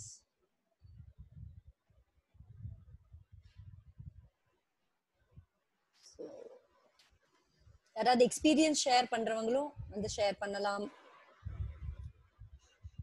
questions கேக்குறவங்க கேட்கலாம்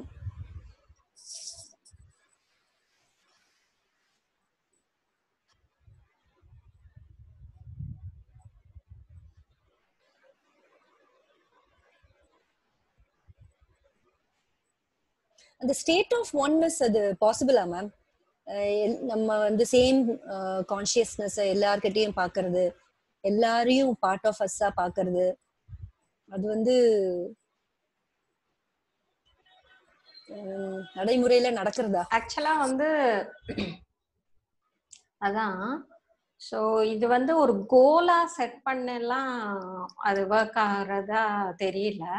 எதையுமே வந்து நம்ம என்ன பண்ணுவோம்னா மைண்ட்ல இருந்து விடுபட்டதுக்கு அப்புறமா இது என்ன அப்படின்னு நம்ம புரிஞ்சுக்க பார்த்தோம் அப்படின்னு சொன்னா அது கொஞ்சம் எளிதாவே இருக்கு ரொம்பவே. ஆனா இதையே ஒரு சைக்கலாஜிக்கலா கோலா செட் பண்ணிட்டோம்னு சொன்னா அது நம்மள சுத்த விட்டுக்கிட்டே இருக்கு. ஏன்னா எல் எது கோலா செட் பண்ணி சீக் பண்ணுதோ அதுதான் அதுக்கு பின்னாடி ஆப்ரேட்டிங் ஃபோர்ஸாவே இருக்கு. ஸோ மெயினா நல்ல ஒரு கேள்வி கேட்டீங்க. ஞானம் அடைகிறது அடையிறதுன்னு சொல்லிட்டு நம்ம எதை தேடி ஓடுறோம்னா எதையோ ஒண்ணு உணர்ந்துக்கணும். நம்மளுக்கு விட அப்பாற்பட்டது அப்படின்னு சொல்லி ஓடிட்டே இருக்கிறோம். ஆனா அதோட உண்மைத்தன்மையே எப்படி இருக்கு அப்படின்னு சொன்னா அஜானத்தினால அது மறைக்கப்பட்டிருக்கு. உண்மை உண்மைன்னு சொன்னா என்ன எதை சொல்றோம்? அப்சல்யூட் ட்ரூத் அப்படின்னு சொன்னா அது இருக்காத இடமும் இருக்க முடியாது அது இருக்க முடியாத காலமும் இருக்க முடியாது. அது எப்பவுமே இருந்துட்டே இருக்கும். ஆஹ் இன்னும் சொல்ல போனா அது டைம் ஸ்பேஸ் ரெண்டுக்கும் அதீதமானது அப்படின்னு சொல்றோம். அப்படின்னா அதை எப்படி புரிஞ்சுக்கலாம்னா எப்பவுமே இருக்கு. அது அவ்வளவுதான். எங்கேயும் இருக்கு எப்பவுமே இருக்கு. ஆனா இது தெரியல அப்படின்னு சொல்றோம் அப்படின்னு சொன்னா என்ன அர்த்தம்னா மறக்கப்பட்டிருக்கு. எதால அப்படின்னா நம்மளோட கருத்துக்களால. நம்ம ஸ்ட்ராங்கா நம்ம ஒரு இண்டிவிஜுவலா எப்படி இருக்கோம்? இப்ப பார்த்தோம்ல போன சாப்டர்ல நம்மளோட அந்த இயல்பு தான் இங்க தனித்தனி தனி ஒரு தனித்தன்மையை கொடுத்துருக்கு. சோ இந்த தனித்தன்மை ஸ்ட்ராங்கா இருந்து அதுல நமக்கு அட்டாச்மெண்ட் ரொம்ப ஸ்ட்ராங்கா இருக்கிற வரைக்கும் நம்ம வந்து நம்மளோட இயல்பை வந்து நம்ம புரிஞ்சுக்கவே முடியாது. எப்போ வந்து இந்த தனித்தன்மை வந்து கீழே விழுதோ அப்போ நம்ம உண்மையோட தான் இருக்கோம் அப்படிங்கிற ஒரு தெளிவும் நமக்கு ரொம்ப ஈஸியாவே ஏற்பட முடியும். ஆனா இந்த தனித்தன்மைய போக்குறது அப்படின்னா அஞ்ஞானம் விழறது. நம்ம செய்யற அறியாமை வந்து நீக்கிறதே தவிர புதுசா உண்மைய கண்டுபிடிக்கிறதோ புதுசா ஒரு உணர்வை கொண்டு வர்றதோ அந்த மாதிரி கிடையாது. இந்த விஷயத்த நம்ம இப்படிதான் புரிஞ்சுக்கணும். ஞானம்னா என்னன்னா அஜ்ஞான நாசனம். புரிதல்னா என்னன்னா தவறான விஷயங்கள்லாம் விலகிறது. அது அது நடக்கும்போது சரியான விஷயம் ஏற்கனவே இருக்கு அப்படிங்கிற ஒரு தெளிவு கிடைக்கும். சோ இந்த அணுகுமுறையை வந்து பல விதமா இந்த உலகத்துல இருக்கு. நிறைய மத நம்பிக்கைகளும் இருக்கு. நிறைய தத்துவவாதிகள் அந்த மாதிரியும் இருக்கு. நிறைய ஸ்கூல் ஆஃப் தாட்ஸ் இருக்கு. சோ எல்லா விஷயத்துலயும் போய் ஒன்னொன்னும் வந்து ஏதோ ஒரு வகையில மோட்டிவை கிரியேட் பண்ணிடுறாங்க. இங்க ஐயா கிட்ட நம்ம எதை ஸ்பெஷலா பாக்குறோம்னா மோட்டிவ் தான் பிரச்சனைன்னு சொல்லி மோட்டிவ் அப்ப மோட்டிவ் நான் எப்படி விடுறது? பிரச்சனையை புரிஞ்சுக்கிட்டோம். மோட்டிவ் தான் இருக்குன்னு. அப்புறம் இப்ப திருப்பி என்ன யோசிக்கிறோம்னா அப்ப நான் மோட்டிவ் இல்லாம எப்படி இருக்கிறது அப்படின்னா அப்படி இருக்கவே முடியாது. சரண்டர் ஆயிடு அப்படின்னு சொல்லி அதையும் ஏ- சும்மா இரு. அப்படின்னா எப்படி சும்மா இருக்கணும்? ஏன் சும்மா இருக்கணும்? எங்க சும்மா இருக்கணும்ட்டு பிரிச்சு பிரிச்சு பிரிச்சு அப்படியே ஐயா நமக்கு உரிச்சு உரிச்சு எல்லாத்தையும் கொடுக்குறாரு. சோ சும்மா இருக்கிறதுனா என்னன்னு புரிஞ்சுக்கிற வரைக்கும் தான் நம்ம முயற்சி. அப்புறம் நம்ம முயற்சி எல்லாம் விட்டுறோம். அதான் சும்மா இருக்கிறது. அதோட இன்னொரு டெர்மினாலஜி பார்த்தா. அதனால எல்லா கேள்விகளுமே எப்படி இருக்கும்னா விட்டுட்டா என்ன? விட்டுட்டா என்னன்னு மோட்டிவாவே பின்னாடி சுத்திக்கிட்டே வந்துட்டே இருக்கும். விடுறது மட்டும்தான் வேலை. அப்படி புரிஞ்சுக்கிட்டதுக்கு அப்புறமா இப்ப நீங்க கேட்ட கேள்விகளும் சரி மத்த அதாவது living in the present moment இல்லைன்னா எண்ணத்துல வந்து எப்படி வந்து இதுவா இருக்கணும் சரியா இருக்கணும் எல்லா கேள்விகளுக்கும் நாமளே வந்து பொருத்தி விடை பார்த்துக்க முடியும். அதனால முதல்ல வந்து சும்மா இருக்கிறதுனா என்ன? சும்மா ஏன் இருக்கணும்? அறிவுக்கு ஏன் வேலையே இல்லை? அறியாமை தான் நீக்கணுமே தவிர இருக்கிற உண்மை வந்து அப்போ அந்த மேகம் சூரியனை மறைச்சதுன்னா மேகம் விலகுனா சூரியன் தெரியுங்கிற மாதிரி அஞ்ஞானம் தான் கீழே விழணும். அதுக்கப்புறம் இருக்கிறது என்ன அப்படிங்கறத நம்ம நாமளே பொருத்தி பார்த்துக்க முடியும். ஓகே. நன்றி மேம் இன்னொரு கொஸ்டின் வந்திருக்கு ma'am how to handle teenage boys who is falling in love or having affair while they are studying in twelfth standard we know it's age related attraction but we want to educate them instead of dealing with iron hand.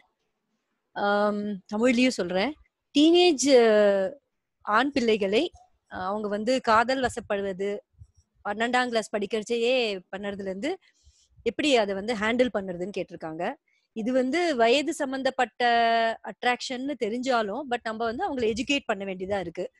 அதை வந்து நம்ம வந்து தண்டம் எடுக்காம எப்படி பண்ணுறது அப்படின்னு கேட்டிருக்காரு. ஓகே um, அதான் இந்த காலத்துல சினிமாலாம் என்ன சொல்லி கொடுக்குது? அது சின்ன வயசுலயே டீனேஜுக்கே எங்க போக விடுது? அஞ்சாம் கிளாஸ்லயே லவ்னு சொல்லிட்டு தான் நம்ம சுத்தி பாக்குற விஷயம். அது நெட் ஆகட்டும் எல்லாம் ஆகட்டும் எல்லாமே தவறான ஃபீடிங்கே தான் கொடுத்துட்டே இருக்கு. இல்லைன்னா ஒரு நம் அந்த காலத்துல வந்து நமக்கு அந்த டீனேஜ்ல நேச்சுரலா தான் ஒண்ணு வரணும். இப்போ வந்து இந்த மாதிரியான ஒரு டிஜிட்டல் வேர்ல்ட்ல அன்நேச்சுரலாவே அது கிரியேட் ஆயிடுது. சோ அந்த மாதிரி ரொம்ப ஸ்பீடா இருந்துட்டு இருக்கிற டைம்ல ஆஹ் அத போய் நமக்கே தெரியும் இல்லையா? அந்த வயசுக்கான அந்த ஹார்மோன் தான் அது வேலை செய்யுதுன்னா சயின்டிபிக்காவே அவங்களும் அதை ஸ்கூல்ல படிச்சுட்டு தான் இருப்பாங்க. இந்த ஹார்மோன் தான் இது வேலை செய்யுது இப்படிதான் இருக்கு அப்படின்னு சொல்லிட்டு.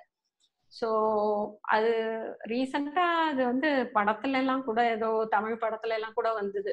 ஆம், சமுத்திரக்கனி அப்பாங்கிற ஏதோ ஒரு படமா? ஐ டோன்ட் ரிமெம்பர் சோ அந்த பையன் கிட்ட வந்து இது இந்த வயசுல இது இப்படிதான்ப்பா இருக்கும்னு ஒரு ஃப்ரெண்டா பேசிட்டா அவன் வந்து ஓ அப்படி அத வந்து ஒரு பாவமான செயல் இல்லைன்னா மறைக்கிற செயல்னு எடுத்துக்காம அவன் ஃப்ரீயா பேசுறதுக்கு வருவான். இல்லைன்னா நம்ம கிட்ட இருந்து மறைச்சு மறைச்சு மறைச்சு இன்னும் கள்ளத்தனம் ஜாஸ்தி ஆயிட்டே இருக்கும். பிளஸ் இன்னும் இன்னும் தவறு இன்னும் ஜாஸ்தியா போறதுக்கோ இல்ல கைமீறி போறதுக்கோ வாய்ப்பு. சோ ஃபர்ஸ்ட் ஆஃப் ஆல் வந்து இது என்ன இந்த மாதிரி நடக்கிறதெல்லாம் சகஜம்தான். இன்ஃபேக்ட் இவங்க லைஃப்ல இவங்க அந்த மாதிரி எக்ஸ்பீரியன்ஸ் பண்ணியிருந்தா கூட அது அவங்க அட்வான்டேஜ் எல்லாம் எடுத்துக்க மாட்டாங்க. இவங்க தான் அப்படி நினைச்சுப்பாங்க. ஆனா உண்மையாவே மனம் திறந்து பேசுனாங்கன்னா அவங்க அதை அட்வான்டேஜா எடுத்துக்கவும் போறது இல்ல அதுல உள்ள ப்ரோஸ் அண்ட் கான்ஸையும் வந்து இவங்க ஃப்ரெண்ட்லியா அப்பதான் கன்வே பண்ண முடியும். ஸோ இதெல்லாம் வந்து இப்போ இல்லாம இதுக்குன்னு ஒரு டைம் இருக்கு. அது வரும்போது உனக்கும் ஒரு அதுக்கான தகுதி வரும்போது நீ பண்ணிக்கலாம் அப்படின்னு சொல்ல முடியும். அவ்வளவுதான். அதுலயுமே மோட்டிவ் இருக்கக்கூடாது. அவங்கள மாத்தியே ஆகணும். அவங்கள எப்படியாவது நல் அப்படியெல்லாம் வச்சுக்க முடியாது. பட் கண்டிப்பா சொல்றத வந்து ஒரு ஃப்ரெண்ட்லியா எப்படி சொல்லணுமோ? அப்படி சொல்லலாம். பிளஸ் அதையும் மீறி அப்படிதான் நடக்குதுன்னா அதையும் சேர்த்து தான் ஏத்துக்கணும் அதை போட்டு அதை வச்சு அவங்கள புண்படுத்துறதோ அவங்கள தவறா கேரக்டரைஸ் பண்றதோ எதுவுமே அந்த தவறு மட்டும் என்னைக்குமே செய்ய முடியாது.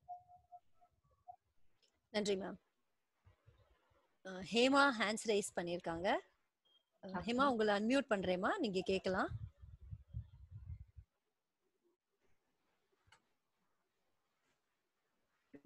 அந்த லவ் ரிலேட்டடா கொஸ்டின் வந்தது இல்லையா? அது அது கூடவே சவுண்ட் கேட்கல ஹேமா. ரொம்ப லோவா இருக்குமா வால்யூம் ஹேமா? இப்போ? இப்ப பேசுங்கம்மா. It's better now no. It's still very low very feeble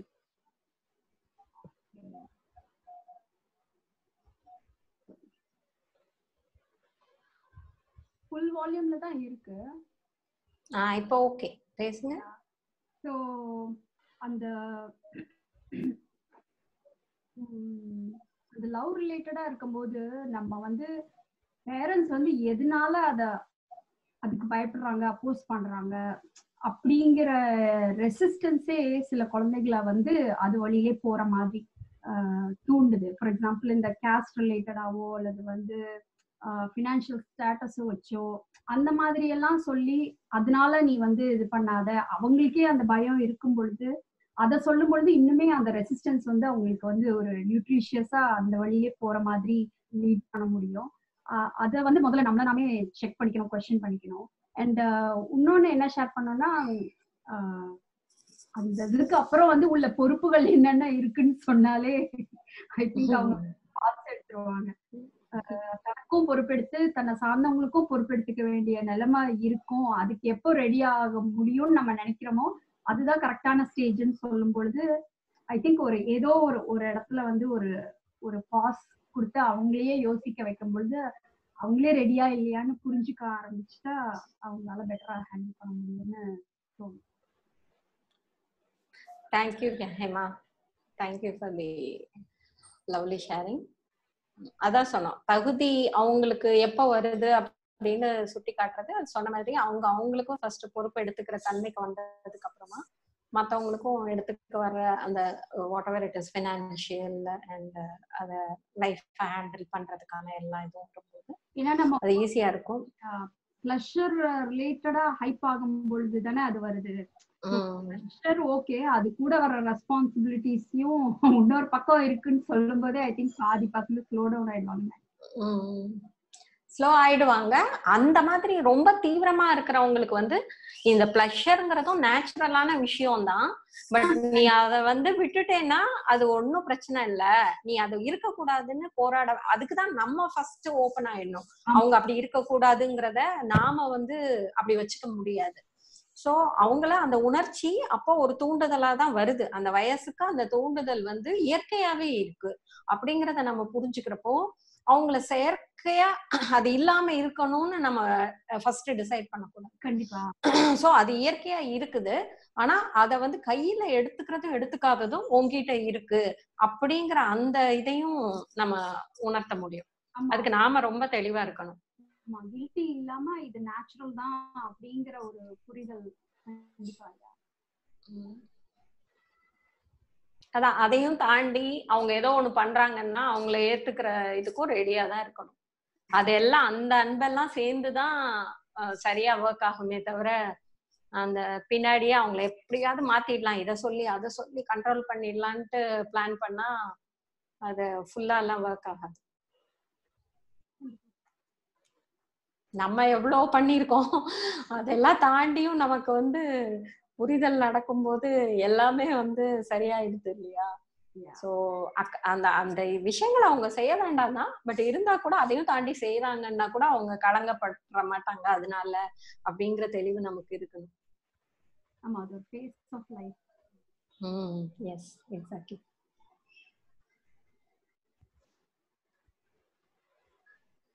நன்றி ஹேமா. நெக்ஸ்ட் சாந்தி யூஎஸ் அவங்க ரைஸ் பண்ணிருக்காங்க. Shanti you have to unmute yourself yeah morning oh உங்களுக்கு okay good morning Shanti first time meet பண்ணும்போது குட் மார்னிங் சொல்லலாம்.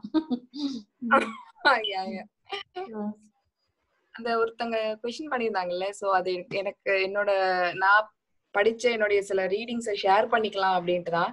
இந்த களவும் கற்று மரங்கிற மாதிரிதான் இது வந்துட்டு அவங்க சோ எல்லாமே ஒரு லேர்னிங் சோ இது வந்துட்டு என்னோட நம்பர் வேணா நான் சாட்ல இது பண்றேன். அவங்களுக்கு ஷேர் பண்றதுன்னா அவங்க வந்து கொஸ்டின்ஸ் கேட்கலாம் கேட்டுக்கலாம். இது வந்து போதி பிரவேஷ்ன்ட்டு ஒருத்தர் காதல் அறிவியல்னு சொல்லிட்டு மெயினா இந்த டீனேஜர்ஸ்க்காகவே இந்த புக் தெரியுதா? சாந்தி ஐம் சாரி ஆக்சுவலா வந்து இத பத்தி நான் கேள்விப்பட்டிருக்கேன்.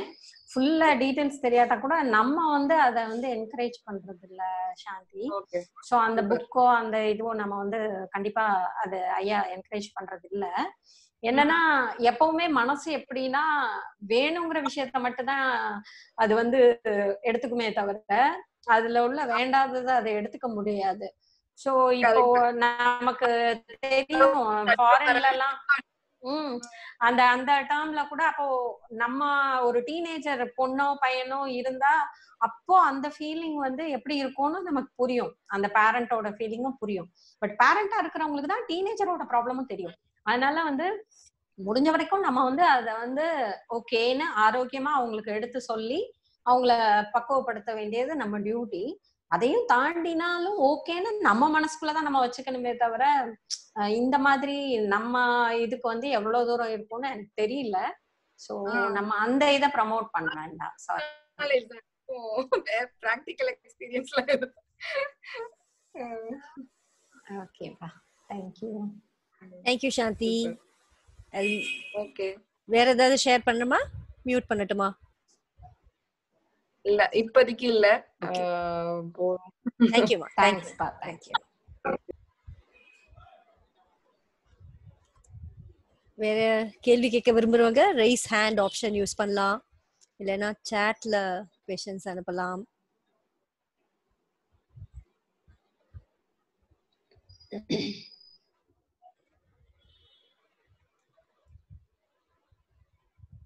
இப்போ புதுசு புதுசா நிறைய வந்துட்டே இருக்குதா? ஒரு ஒரு கண்டுபிடிப்பா. சோ ஒன்னொன்னையும் பார்க்கும்போது இந்த பக்குவம் அடையாத மனசு என்ன பண்ணும்னா அதுல தனக்கு வேண்டிய பாசிட்டிவ்ஸ மட்டும் எடுத்துக்கிட்டு அப்புறம் திருப்பியும் மாட்டிக்கிட்டு முழிக்கும்.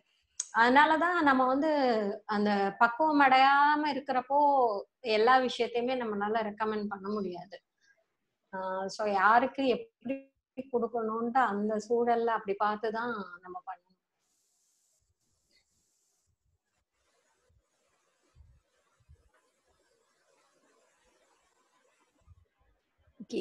அதனாலதான் ஒரு ஜென் ஸ்டோரி உண்டு. ஆக்சுவலா வந்து ஒரு ஒருத்தர் வந்து பிரசங்கம் பண்ணிட்டு இருப்பாரு. அப்போ கூட்டத்துல இருக்கிறவங்க தூங்குவாங்க கேட்டுட்டு இருப்பாங்க. ஆனா வந்து ஒருத்தர் மட்டும் ஃபுல்லா போர்வை மூடிட்டு ஆஹ், கருப்பு ஷால் ஃபுல்லா போட்டு உட்கார்ந்துட்டு இருப்பாரு. கூட்டம் முடிஞ்சு போனதுக்கு அப்புறம் தான் அவர் போவார். இது ஒரு பத்து நாளா அவர் கவனிச்சுட்டே இருப்பாரு. இப்ப பத்தாவது நாள் அவருக்கு என்ன சொன்னா கூட்டம் முடிஞ்ச பிறகு அவரை கூப்பிடுவாரு. கூப்பிட்டு என்ன கேக்குறியா? நீ மட்டும் தான் ரொம்ப சின்சியரா கேக்குற மாதிரி இருக்கா? நான் உன் முகத்தையும் காமிக்க மாட்டேங்கிற. அப்படின்னு சொன்ன அவர் அந்த போர்வையை விளக்காமையே ஒரு கேள்வி கேட்பாரு. நீங்க ஒரு ஞானி. நீங்க அதனால எடுத்து சொல்றீங்க. என்னோட இந்த கேள்விக்கு பதில் சொல்லுங்க. ஆஹ் நான் ஞானிக்கு கர்மா உண்டா இல்லையா? அப்படின்ட்டு கேட்பாரு. அப்போ அவர் சொல்லுவாரு ஆஹ் ஞானியே ஆனாலும் நம்மளோட செயல்கள் வந்து பலரோட தொடர்புடையது. அதனால அந்த இடத்துல சரியான செயலை மட்டுமே தர்ம நியாயத்தைப்படி அணு அணு ஆஹ் அணுகிறது தான் ஞானிக்கு சரியான இதுவா இருக்கும். இல்லாட்டா அவனும் வந்து அந்த தண்டனைக்கு ஆழாக்க தான் படுவான் அப்படிங்கிற மாதிரி அவர் சொல்லுவார். சொன்ன உடனே அவர் போர்வையை விளக்குவாரு. ஒரு நரி மாதிரி என்ன ஒரு உருவம் அது அப்படியே ஒரு அழகிய ஒரு மனிதனா மாறி அப்புறம் அவரை வணங்கிட்டு சொல்லும். நான் இதுக்கு முன்னாடி பிறவியில வந்து இப்படித்தான் இருந்தேன். அப்போ என்கிட்ட நான் ஞானம் அடைஞ்சப்போ ஒருத்தர் கேள்வி கேட்டாரு கர்மா இல்லையான்னு சொல்லிட்டு. நான் வந்து கர்மா இல்லை அப்படிங்கிற மெசேஜை நான் சொல்லிட்டேன். உடனே எனக்கு இப்படி மாறிட்டேன். அது அது அதோட சீக்வன்ஸ் அது அப்படியே வரும். சோ இப்ப நீங்க உங்க வாயால கேட்ட உடனே புரிஞ்சுக்கிட்டேன் எனக்கு வந்து மோட்சம் கிடைச்சிருச்சு அப்படின்னு சொல்லி நன்றி சொல்லி மறந்துடுவார். பட் ஆக்சுவலா இதுல மெசேஜ் என்ன அப்படின்னு சொன்னா நிஷ்காமிய கர்மான்னு நம்ம சொல்றோம் இல்லையா? சோ ஞானிக்கு எப்போ கர்மா கிடையாது அப்படின்னு சொன்னா இன்ப துன்பத்தை அடிப்படையா வச்சு செயல்ல அவன் ஈடுபடுறான் அப்படின்னு சொன்னா அப்ப அவன் கர்மா வசப்பட்டுறான் ஆனா இன்ப துன்பத்தை புறக்கணிச்சுட்டு கண்டிப்பா இன்பத்தை நோக்கி தான் மூமெண்ட் இருக்கும். ஆனா அதுவே மெயின் ஃபோக்கஸா இருக்காது. அங்க வந்து செயல்பாட்டுக்கு எது அடிப்படையா இருக்கும்னா தர்மம்ங்கிற விஷயம்தான். நியாயம்ங்கிற விஷயம்தான் அடிப்படையா இருக்கும். சோ அத வந்து நம்ம பார்த்து சரியான செயலை நம்ம செய்யணும். சோ எல்லாருமே வந்து ஓகே நிஷ்காமிய கர்மா ஞானி ஆயிட்டேன்ட்டு இஷ்டத்துக்கு செயல் பண்ணினா அதனாலதான் திருப்பி திருப்பி பிரச்சனை வந்துகிட்டே இருக்கு. சோ அதனாலதான் நம்ம ஐயா கூட சொல்லும்போது புறத்துல கண்டிப்பா வந்து தர்ம நியாயப்படிதான் செயல்படணுங்கிறத வலியுறுத்திட்டே இருக்காங்க. ஐயாவே தான் நிஷ்காமிய கர்மா ஞானிக்கு கர்மா இல்ல செய்யறதும் சொல்றாங்க. ஆனா செயல்ல வந்து நமக்கு குழப்பம் இருக்குதுன்னா அங்க வந்து கண்டிப்பா தர்ம நியாயப்படி அப்படின்னு சொல்றாங்க. சோ அப்ப இந்த தர்மம்னா இல்ல இல்ல நியாயம்னா என்ன அப்படின்ட்டு நம்ம ஏற்கனவே ஒரு செஷன்ல பார்த்திருக்கோம். இன்னும் தெளிவா பாக்கணும்னா இப்ப உறவுகள்ல ஒரு சிக்கல் வருது இல்லையா? அந்த மாதிரி எல்லா சிக்கலுமே மெயினா என்னன்னா ரிலேஷன்ஷிப்ல தான் வரும். ஆப்ஜெக்ட்ஸுங்கிற விஷயத்தை விட ரிலேஷன்ஷிப்ல தான் அது வரும். ஸோ நம்ம வந்து யார்கிட்டயோ போய் சொல்றோம் இல்ல யாரையோ ஏமாத்துறோம் அப்படின்னு சொன்னா அவங்க அதே மாதிரி நம்ம கிட்ட போய் சொன்னாலோ ஏமாத்தினாலோ நமக்கு எப்படி வலிக்கும்? நம்மள வந்து ஹாஷா பேசுனா நமக்கு எப்படி வலிக்கும்? அதனாலதான் அந்த பிறர் உனக்கு வந்து எதை செய்ய நினைக்கிறாரோ அதையே நீ மத்தவங்களுக்கு செய். எதை செய்யக்கூடாதுன்னு நினைக்கிறாயோ அதை நீ மத்தவங்களுக்கு செய்யாத. அப்போ பொய் பேசுறது நமக்கு பிடிக்காதுன்னா நாமளும் பொய் சொல்லக்கூடாது. உண்மையா இருக்கிறதா நமக்கு பிடிக்கும்னா நாமளும் உண்மையா இருக்கணும். அதே அது அது வெறும் அந்த அந்த பொய் பேசாம இருக்கிறதுலயே அத்தனை இதுவும் வந்துடும். பட் அதையும் தாண்டி மத்த மத்தவங்க தவறே பண்ணினாலும் இப்ப நம்ம தவறு பண்ணினா நம்மளை கூப்பிட்டு பொறுமையா எடுத்து சொன்னா நமக்கு அது உள்ள போகுமா? இல்லைன்னா கண்டிச்சு ரொம்ப வார்த்தைகளால கொதறி நமக்கு சொன்னா அந்த விஷயம் உள்ள ரீச் ஆகுமா? சோ இது எல்லாத்தையுமே நம்ம அப்ரோச்சே எப்படின்னா நம்ம நம்ம ரிலேஷன்ஷிப்ல நம்ம கம்யூனிகேட் பண்ணோம்னா இதே விஷயத்த நாம பண்ணினா அதே மாதிரி நம்மள கம்யூனிகேட் பண்ணா நமக்கு எப்படி இருக்கும்? சும்மா எல்லாரும் சொல்லிடுவாங்க நான் ஸ்ட்ரெயிட் ஃபார்வர்ட் நான் அப்படி சொல்லிடுவேன் அப்படின்ட்டு. ஆனா அது பொய் தான். அது அவங்க கொஞ்சம் நிதானமா யோசிச்சு பார்த்தாங்கன்னா யாருக்குமே கடும் சொல் பிடிக்காது.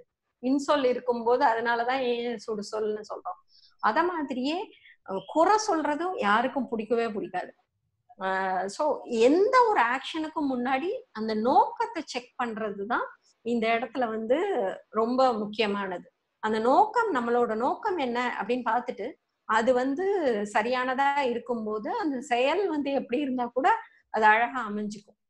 நோக்கத்தை வந்து விஷத்தோட வச்சுக்கிட்டு செயலை வந்து ரொம்ப டெக்கரேட்டிவா பண்ணா அது என்னைக்குமே பேக் ஃபயர் ஆயிட்டே தான் இருக்கும் ஏதோ அப்படியே போயிடுச்சு. சூப்பர்.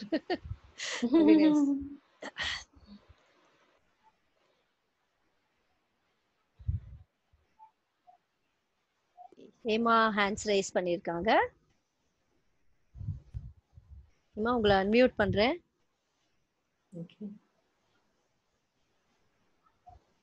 ஒரு ரெண்டு நாள் முன்னாடி உள்ள ஒரு ரெக்கார்டிங் சத்சங் ரெக்கார்டிங் கேட்கும்போது ஒருத்தவங்க கேள்வி கேட்டிருந்தாங்க. என்னன்னா இப்போ அகத்துல வந்து மா- மாற்றங்கள் அதாவது எதுவுமே நிக்காம போயிட்டே இருக்கு பட் அகம் புறம்னு பிரிக்கும் போது புறத்துலயுமே வந்து எல்லாமே மாறிட்டு தானே இருக்கு. Changes the only thing that does not change so மாற்றம் ஒன்றே மாற்றம் இல்லாததுன்னு இருக்கும்பொழுது அதை எப்படி வந்து டிஃப்ரென்ஷியேட் பண்றீங்க அப்படிங்கிறது. ஸோ அந்த அது என்- அதாவது அது சில ஆஸ்பெக்ட்ஸ்ல வந்து அது மாறாம இருக்கும் அந்த தன்மையெல்லாம் இருக்கு. பட் அந்த இதுல வந்து நீங்க இன்னும் கொஞ்சம் எலாபரேட் பண்ணீங்கன்னா இட் பி யூஸ்ஃபுல்னு அந்த கேள்வி சோ நான் அந்த கேள்வியை நானும் ஐயா கிட்ட ஒருத்தர் இங்கிலீஷ்ல கேட்டார் அப்ப இருந்தேன். ஸோ அது ஸோ அப்ப வந்து ஐயா வந்து தெளிவா அப்பவே பதில் சொல்லிட்டாங்க. அதாவது புறத்துல வந்து இப்ப எல்லாமே மாறிட்டு இருக்குன்னா நமக்கும் அந்த பசி எடுக்குது அதுக்கப்புறமா பசி போகுது நோய் வருது அப்புறம் நோய் தீருது தூக்கம் வருது அப்புறம் தூக்கம் எல்லாமே சேஞ்ச்ல தான் இருக்கு. ஆனா உணவுங்கிற ஒரு விஷயத்த எடுத்துக்கிட்டாலே அந்த உணவை வந்து நம்ம வாய்கிட்ட கூட கொடுக்கலாம். ஆனா அதையும் திருப்பி உள்ள எடுத்து முழுங்குறது அங்க ஒரு வேலை இருக்கு. அந்த மாதிரி எல்லா இடத்துலயுமே வந்து நமக்கு செயல்படுறதுக்குன்னு ஒரு சாய்ஸ் இருக்கு. அந்த சாய்ஸ நம்ம வந்து யூட்டிலைஸ் பண்ணி தான் ஆகணும். செயலே இல்ல அப்படிங்கிற இடத்துல வந்துட்டு நான் செயல்படாம இருக்கிறேன்னா அப்ப நம்ம சாப்பிடாம இருக்கிறோமா?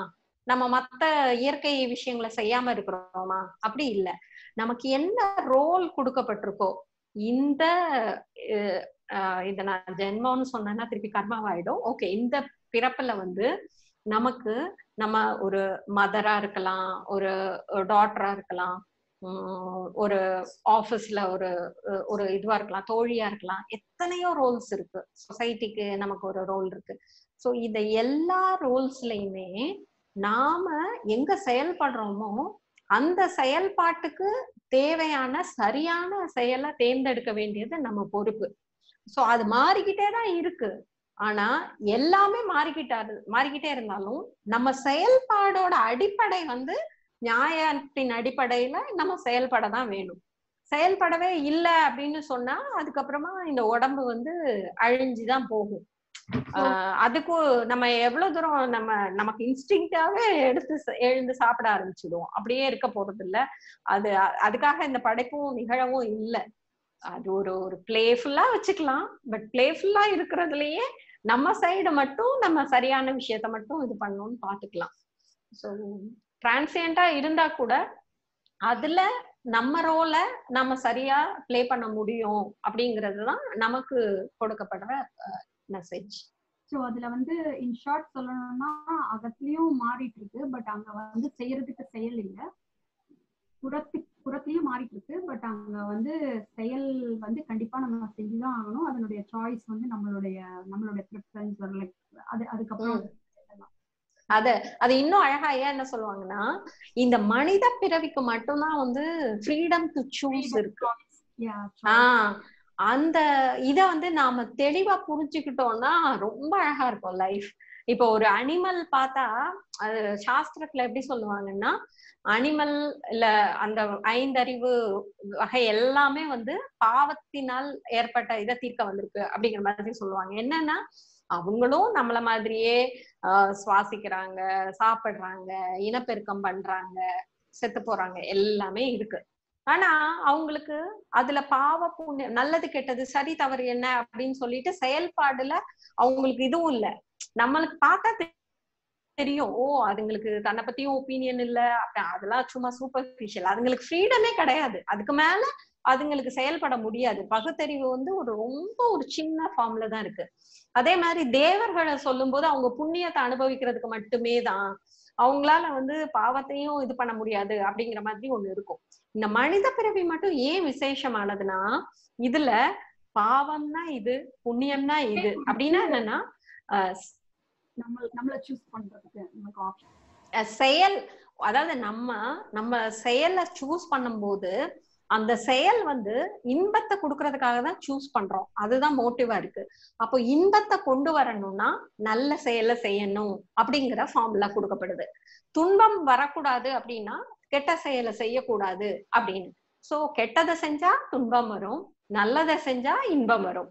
இந்த ஃபார்முலாவும் கொடுக்கப்பட்டு இதுக்கான ஃப்ரீடமும் கொடுக்கப்படுது. அதனாலதான் வந்து அந்த ஃப்ரீடம் இன் ஆக்ஷனே என்ன பண்ணுதுன்னா நம்ம அதை வந்து மிஸ்யூஸ் பண்ணும்போது சுத்த சுத்த விட்டு நம்மள துன்பத்தோட இதுக்கு எடுத்துட்டு போயிட்டு திருப்பி நம்ம அதுல இருந்து விடுபடும் போது நமக்கு அந்த ஃப்ரீடம் ஆஃப் சாய்ஸ் இருக்கு. ஸோ அதை செலக்ட் பண்றது மூலமா நம்ம இன்பத்தை நோக்கியே நம்ம அட்ராக்ட் பண்ண முடியும். இன்பம் வேணும்னா சரியான செயல்களை செஞ்சுட்டே போக முடியும். இந்த இதையும் நம்ம தெளிவா புரிஞ்சுக்க முடியும். ஓகே இப்போ நம்ம அகத்துல வந்து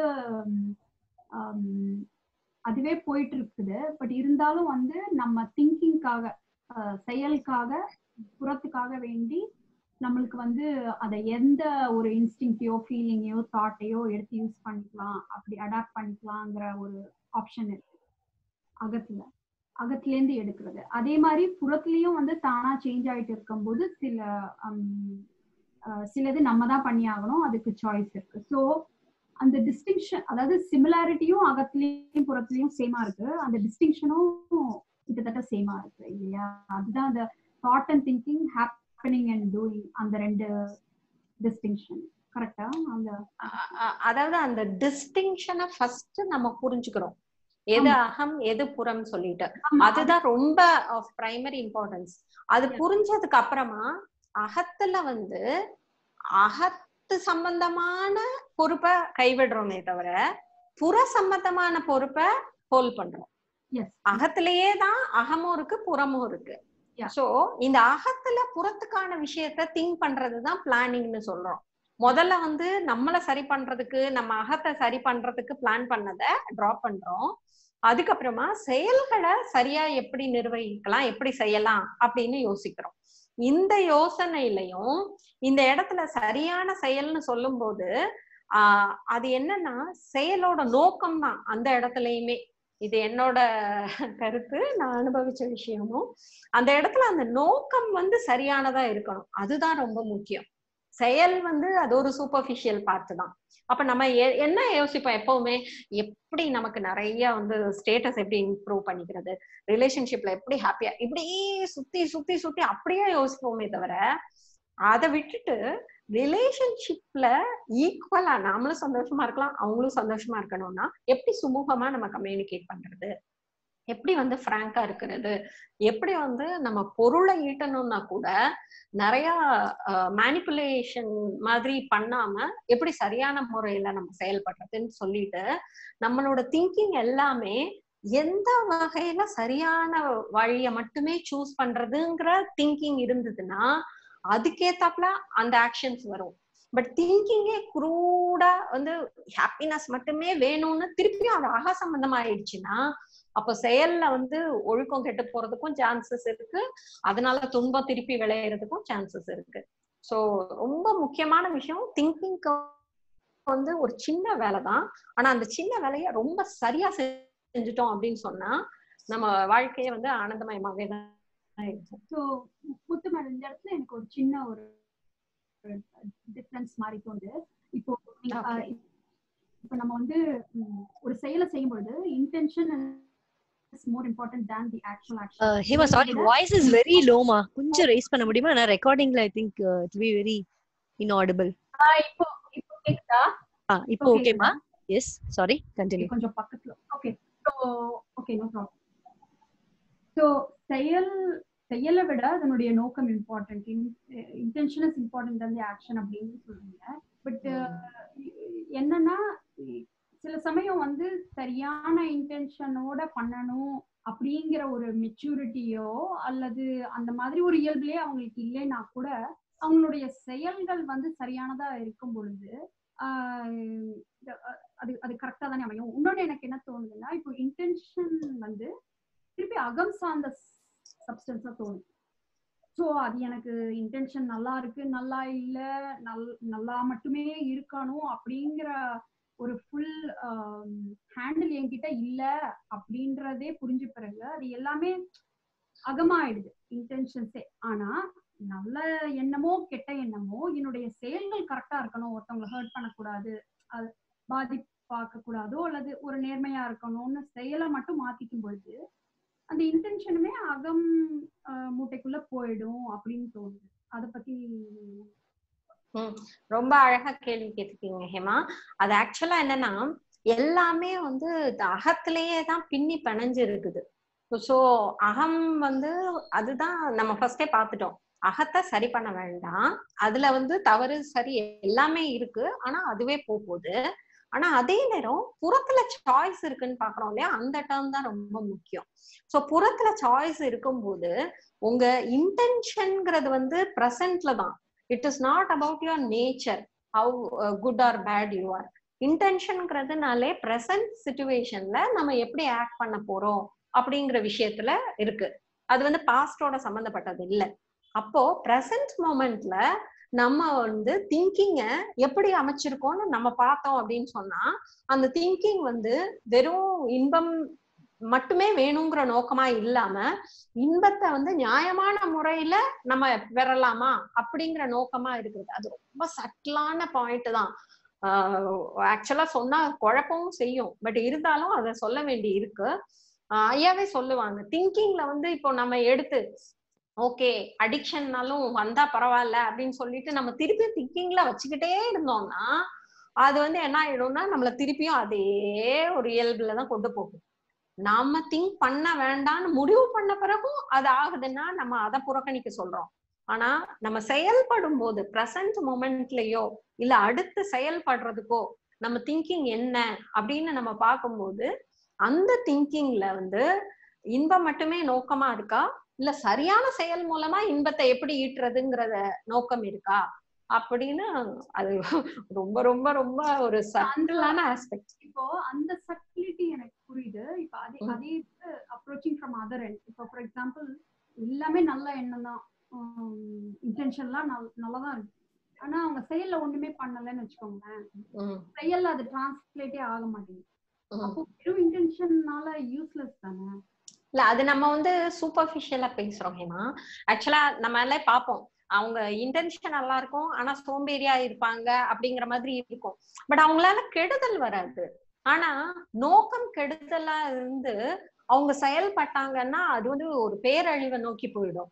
சோ நம்ம அதையும் என்கரேஜ் பண்ணல இதையும் என்கரேஜ் பண்ணல. நம்ம என்ன சொல்றோம் அப்படின்னு சொன்னா நம்ம அதாவது அந்த- செயல்ங்கிற இடத்துல வந்து எந்த டிபேட்டுமே கிடையாது. அது சரியான செயல் தான் சரியான செயல் மட்டும்தான் பண்ணணும். தட்ஸ் ஒன்லி திங் அலவுட் அப்படின்னு வச்சுக்கிட்டோம்னா அதாவது இந்த க- கர்மா இது படி அந்த நம்ம வந்து ஒரு அதாவது கர்மாங்கிறத விட நியாய தர்மத்துக்கு உட்பட்டு புறத்துல செயல்படுறோம் பொழுது செயல் வந்து சரியான செயலா மட்டும்தான் இருக்கணும். அவ்வளவுதான். அது பீரியட் ஃபுல் ஸ்டாப் அதுல எந்த டிபேட்டும் கிடையாது. பட் அந்த செயலை செய்யும் பொழுது அவங்களுக்கு வந்து அது நல்லதை நினைச்சு செய்யணும். அல்லது வந்து அந்த மாதிரி இல்லைன்னு வச்சுக்கோங்களேன். அந்த இன்டென்ஷனலா நல்லது செய்யணும்னு இல்லாம ஆனா செயலை அவங்க கரெக்டாவே பண்ணிட்டு இருக்காங்கன்னாலுமே அது கரெக்ட் தான் தோணுது. ஏன்னா ஆமாப்பா. அவங்களுக்கு வந்து இன்டென்ஷனலா நல்லது செய்யணும்னு கூட இல்ல. அவங்களுக்கு பிடிச்சிருக்கு செய்யறாங்க ஆனா அந்த இன்டென்ஷன் வந்து ரிசல்ட்ல வந்து சப்போஸ் சரியா வரலன்னு வச்சுக்கோங்களேன். அப்போ அவங்க ரிசல்ட் வந்து ஏன் வரல? அப்ப ரிசல்ட் வந்து ஏதேதோ காரணங்களாலன்னு சொல்லுவாங்க. ஆனா ஆக்சுவலா வந்து அப்போ அந்த ரிசல்ட் ஏன் அப்படின்னு பார்த்தா இன்டென்ஷனை செக் பண்ணா தெரிஞ்சிடும்.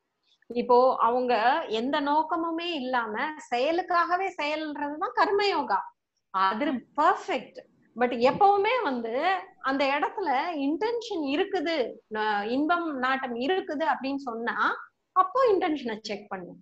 எனக்கு இன்ப துன்பம் இல்ல என் டியூட்டி நான் பண்ணிடுறேன் நான் கரெக்டா பண்ணிடுறேன் அப்படின்னா வெரி மச் அப்ரிஷியேட்டட் பட் அது வந்து அவங்க ரிசல்ட்டை பொறுத்தே அவங்களுக்கு தெரிஞ்சிடும். எங்கேயோ அந்த ரிசல்ட் அவங்களுக்கு துன்பம் கொடுக்குது. அவங்கள ரொம்ப டிஸ்டர்ப் பண்ணுது. அப்படின்னு சொன்னா அப்ப அவங்க they have to come back and check the intentions so. It depends இப்போ நீங்க அப்போ அப்படின்னா வந்து இன்டென்ஷன் சரியா இருந்து செயலும் சரியா இருந்து அந்த ரிசல்ட்ஸ் ஆனா கூட ரிசல்ட்ஸ் நம்ம கையில இல்லைன்னு தான் எனக்கு தோணுது. அது எப்படி வேணாலும் இருக்கலாம். ஆனா அதை பத்தி நம்ம கவலைப்படுறது இல்ல ஆமா ஏன்னா நீங்க இன்டென்ஷன் சரியா இருந்துட்டா உங்களோட செயலும் வந்து சரியா இருந்துச்சுன்னா ரிசல்ட் வந்து எப்படி இருந்தாலும் you won't be affected at all அதுதான் அதுக்கப்புறமா யூ வில் ரியலைஸ் சோ இங்க நிறைய இடத்துல என்ன பண்ணுவோம்னா ப்ரூவ் பண்ண ட்ரை பண்ணுவோம். நான் சரியா தான் பண்ணேன் அப்படி சொல்லிட்டு. நம்ம ப்ரூவ் பண்ண தேவையே இல்லை. ஒரு தடவை எடுத்து சொல்லலாம். அதுக்கு மேல நம்மள நம்ம ப்ரூவ் பண்ணிக்கணும்னு அவசியமே கிடையாது. யார்கிட்டயும் யாரையும் நம்ம எப்படி வ- வலுக்கட்டாயமா மாத்த ட்ரை பண்றது இல்லையோ அத மாதிரி நாம சரிங்கிற ப்ரூவ் பண்ணிட்டே இருக்கிற பாயிண்ட்டையும் நம்ம விட்டுறலாம். ஏன்னா நம்மளுடைய நோக்கத்துல இருந்து தான் நமக்கு ரிசல்ட் வரப்போகுதுங்கிறத நம்ம தெளிவா பார்க்கும்போது நம்ம வெளியில எங்கேயுமே போய் வாதாடுறதோ ப்ரூவ் பண்றதோ எதுவுமே இல்லை. அந்த ரிசல்ட் வந்து வெளிப்படையா பார்க்கும்போது அவங்களுக்கு துன்பமா இருந்தா கூட அல்டிமேட்டா நம்ம மனசுலதான் இப்போ எல்லாரும் கேட்பாங்கல்ல பொலிட்டீஷியன்ஸ் எல்லாம் தப்பு பண்றாங்க. ஆனா அவங்க வந்து நல்ல வசதியா தானே வாழறாங்கம்பாங்க. ஆனா அவங்க மனநிலையில அவங்க என்ன அனுபவிக்கிறாங்கங்கிறது அவங்களுக்கான அந்தரங்கம்.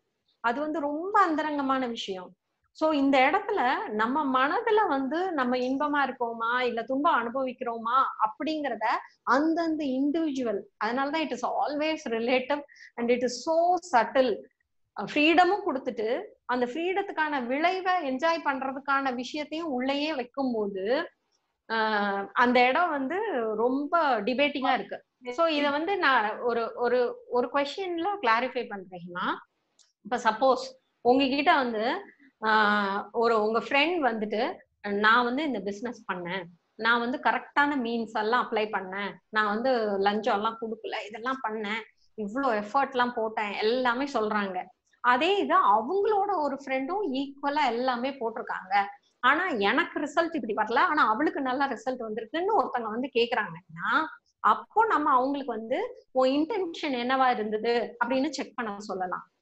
அதே இது அதே ஃப்ரெண்டு வந்து நீங்க ரெண்டு பேரும் சும்மா கான்வர்சேஷன்ல இருக்கும்போது பொலிட்டீஷியனை பாரு அவன் எவ்வளவு கம்ஃபர்டபுளா இருக்கான். இங்க பாரு நியாயமா நடந்துக்கிறவன் வந்து எவ்வளவு கஷ்டப்படுறான் அப்படின்னு சொன்னா அப்ப அவனுக்கு என்ன சொல்லலாம்னா அவனோட மனப்பான்மையில இவன் நிம்மதியா இருக்கானா அவன் துன்பப்படுறானாங்கிறது அவங்கவுங்க அந்தரங்கமான விஷயம் அப்படின்னு. சோ இது வந்து கேள்வியை பொறுத்து கேட்கிறவரை பொறுத்து இதோட இது மாறுது. சமரைஸ் நீங்க அதை வந்து ரீக்ரியேட் பண்ணி கன்ஃபார்ம் பண்ணுங்க. இப்ப நீங்க சொல்ல வந்தது என்னன்னா இப்போ நம்ம இந்த புரிதலுக்கு அப்புறம் அகம் புறம்னு ரெண்டு பிரிவு எடுத்ததுக்கு அப்புறம் அகத்துல வேலையில விட்டுறோம். புறத்துக்கு வந்து தேவையான செயலுக்கு அந்த அகத்துல வர்ற இதை வந்து எடுத்துக்கிறோம். தேவைன்னா அதை எடுத்து அந்த செயலா மாற்றும் பொழுது ஈவன் பிஃபோர் வி டூ அந்த இடத்துல வந்து ஒரு செக் பாயிண்ட் மாதிரி நம்ம இன்டென்ஷன்ஸை செக் பண்ணிட்டு செயல் பண்றது பெட்டர் அப்படின்னு சொல்லி சொல்ல வ- சொல்றீங்க. அது கரெக்ட் கரெக்ட் வச்சுக்கலாம். இல்ல ஒருவேளை இம்பல்சிவா நமக்கு பழக்கத்துல செயல்பட்டுட்டா கூட அதுக்கப்புறமா நமக்கு ஒரு கில்ட் வரும்ல. ஒரு கோபம் ஒரு எரிச்சல் வரும். அதுதான் இண்டிகேட்டர் அப்போ அந்த கில்ட்ல இருந்து கில்ட்டை நம்ம நோக்கி போராட மாட்டோம். கில்ட் கொடுக்குற மெசேஜ் என்னன்னா ஓ நம்ம இந்த இடத்துல இப்படி பண்ணியிருக்கோம். இத வந்து நம்ம மாத்திக்கலாம். அப்படின்னு ஒரு முடிவுக்கு வரும். இல்ல இப்ப நான் ஓகே நான் இன்னும் ரிஃபைண்டா கேக்குறேன். அதாவது புறத்துல வந்து நம்ம செய்யற செயல் நல்ல செயல் தான் அதுல ஒன்றும் இது இல்லை. ஏன்னா இவ்வளவு தூரம் புரிஞ்சதுக்கு அப்புறம் அப்புறம் போய் என்னத்தையோ ஒன்று பண்றது வந்து வேஸ்ட் டோட்டல் வேஸ்ட் ஸோ இப்போ நம்ம வந்து புறத்துல வந்து ஒரு சரியான அது நல்ல செயல் தான் அதாவது அடுத்தவங்களை பாதிக்காத ஒரு சமூகம் சம்பந்தப்பட்ட ஒரு சார்ந்த நல்ல விஷயம் தான் பட் அதுக்கு முன்னாடியும் நான் என்னோட இன்டென்ஷனை செக் பண்ணணுமா? அப்படி எல்லாம் தேவையில்லை. அப்படியே தேவையில்லை. எப்போ இன்டென்ஷனை செக் பண்ணணும்னா நீங்க செயலை சரியா செஞ்சுட்டு ஆனாலும் அது வந்து உங்களுக்குள்ள ஒரு கில்ட்டையோ ஒரு கோபத்தையோ எரிச்சலையோ ஏற்படுதுன்னா எனிவே நீங்க வந்து கோபம் எரிச்சல் கில்ட்டை வந்து டீல் பண்ண போறது இல்ல பட் அதுல உள்ள மெசேஜ் தேவைப்படுதான்னு நீங்க எடுத்துக்கலாம்.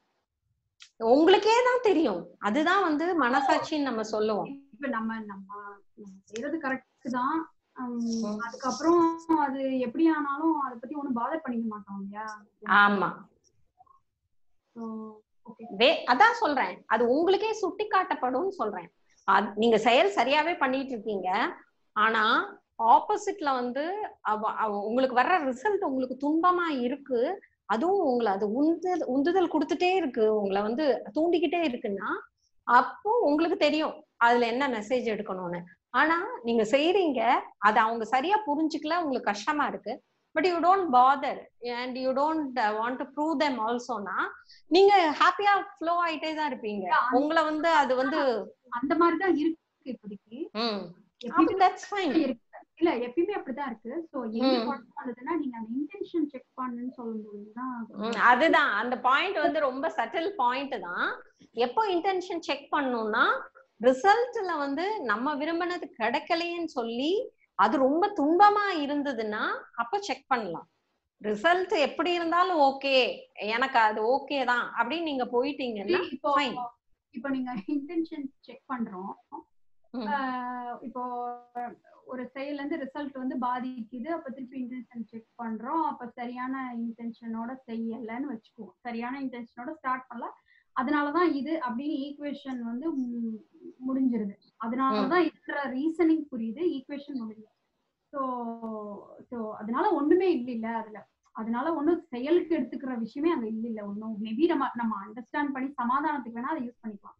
பட் அதனுடைய பயன் என்ன? லைக் ஆமா நெக்ஸ்ட் செயல்ல வந்து சி அது இது வந்து எப்படின்னா நீங்க இன்டென்ஷனை பார்த்துட்டே இருக்கணும். திருப்பி அகத்துல வேலை கொடுக்கல நம்ம.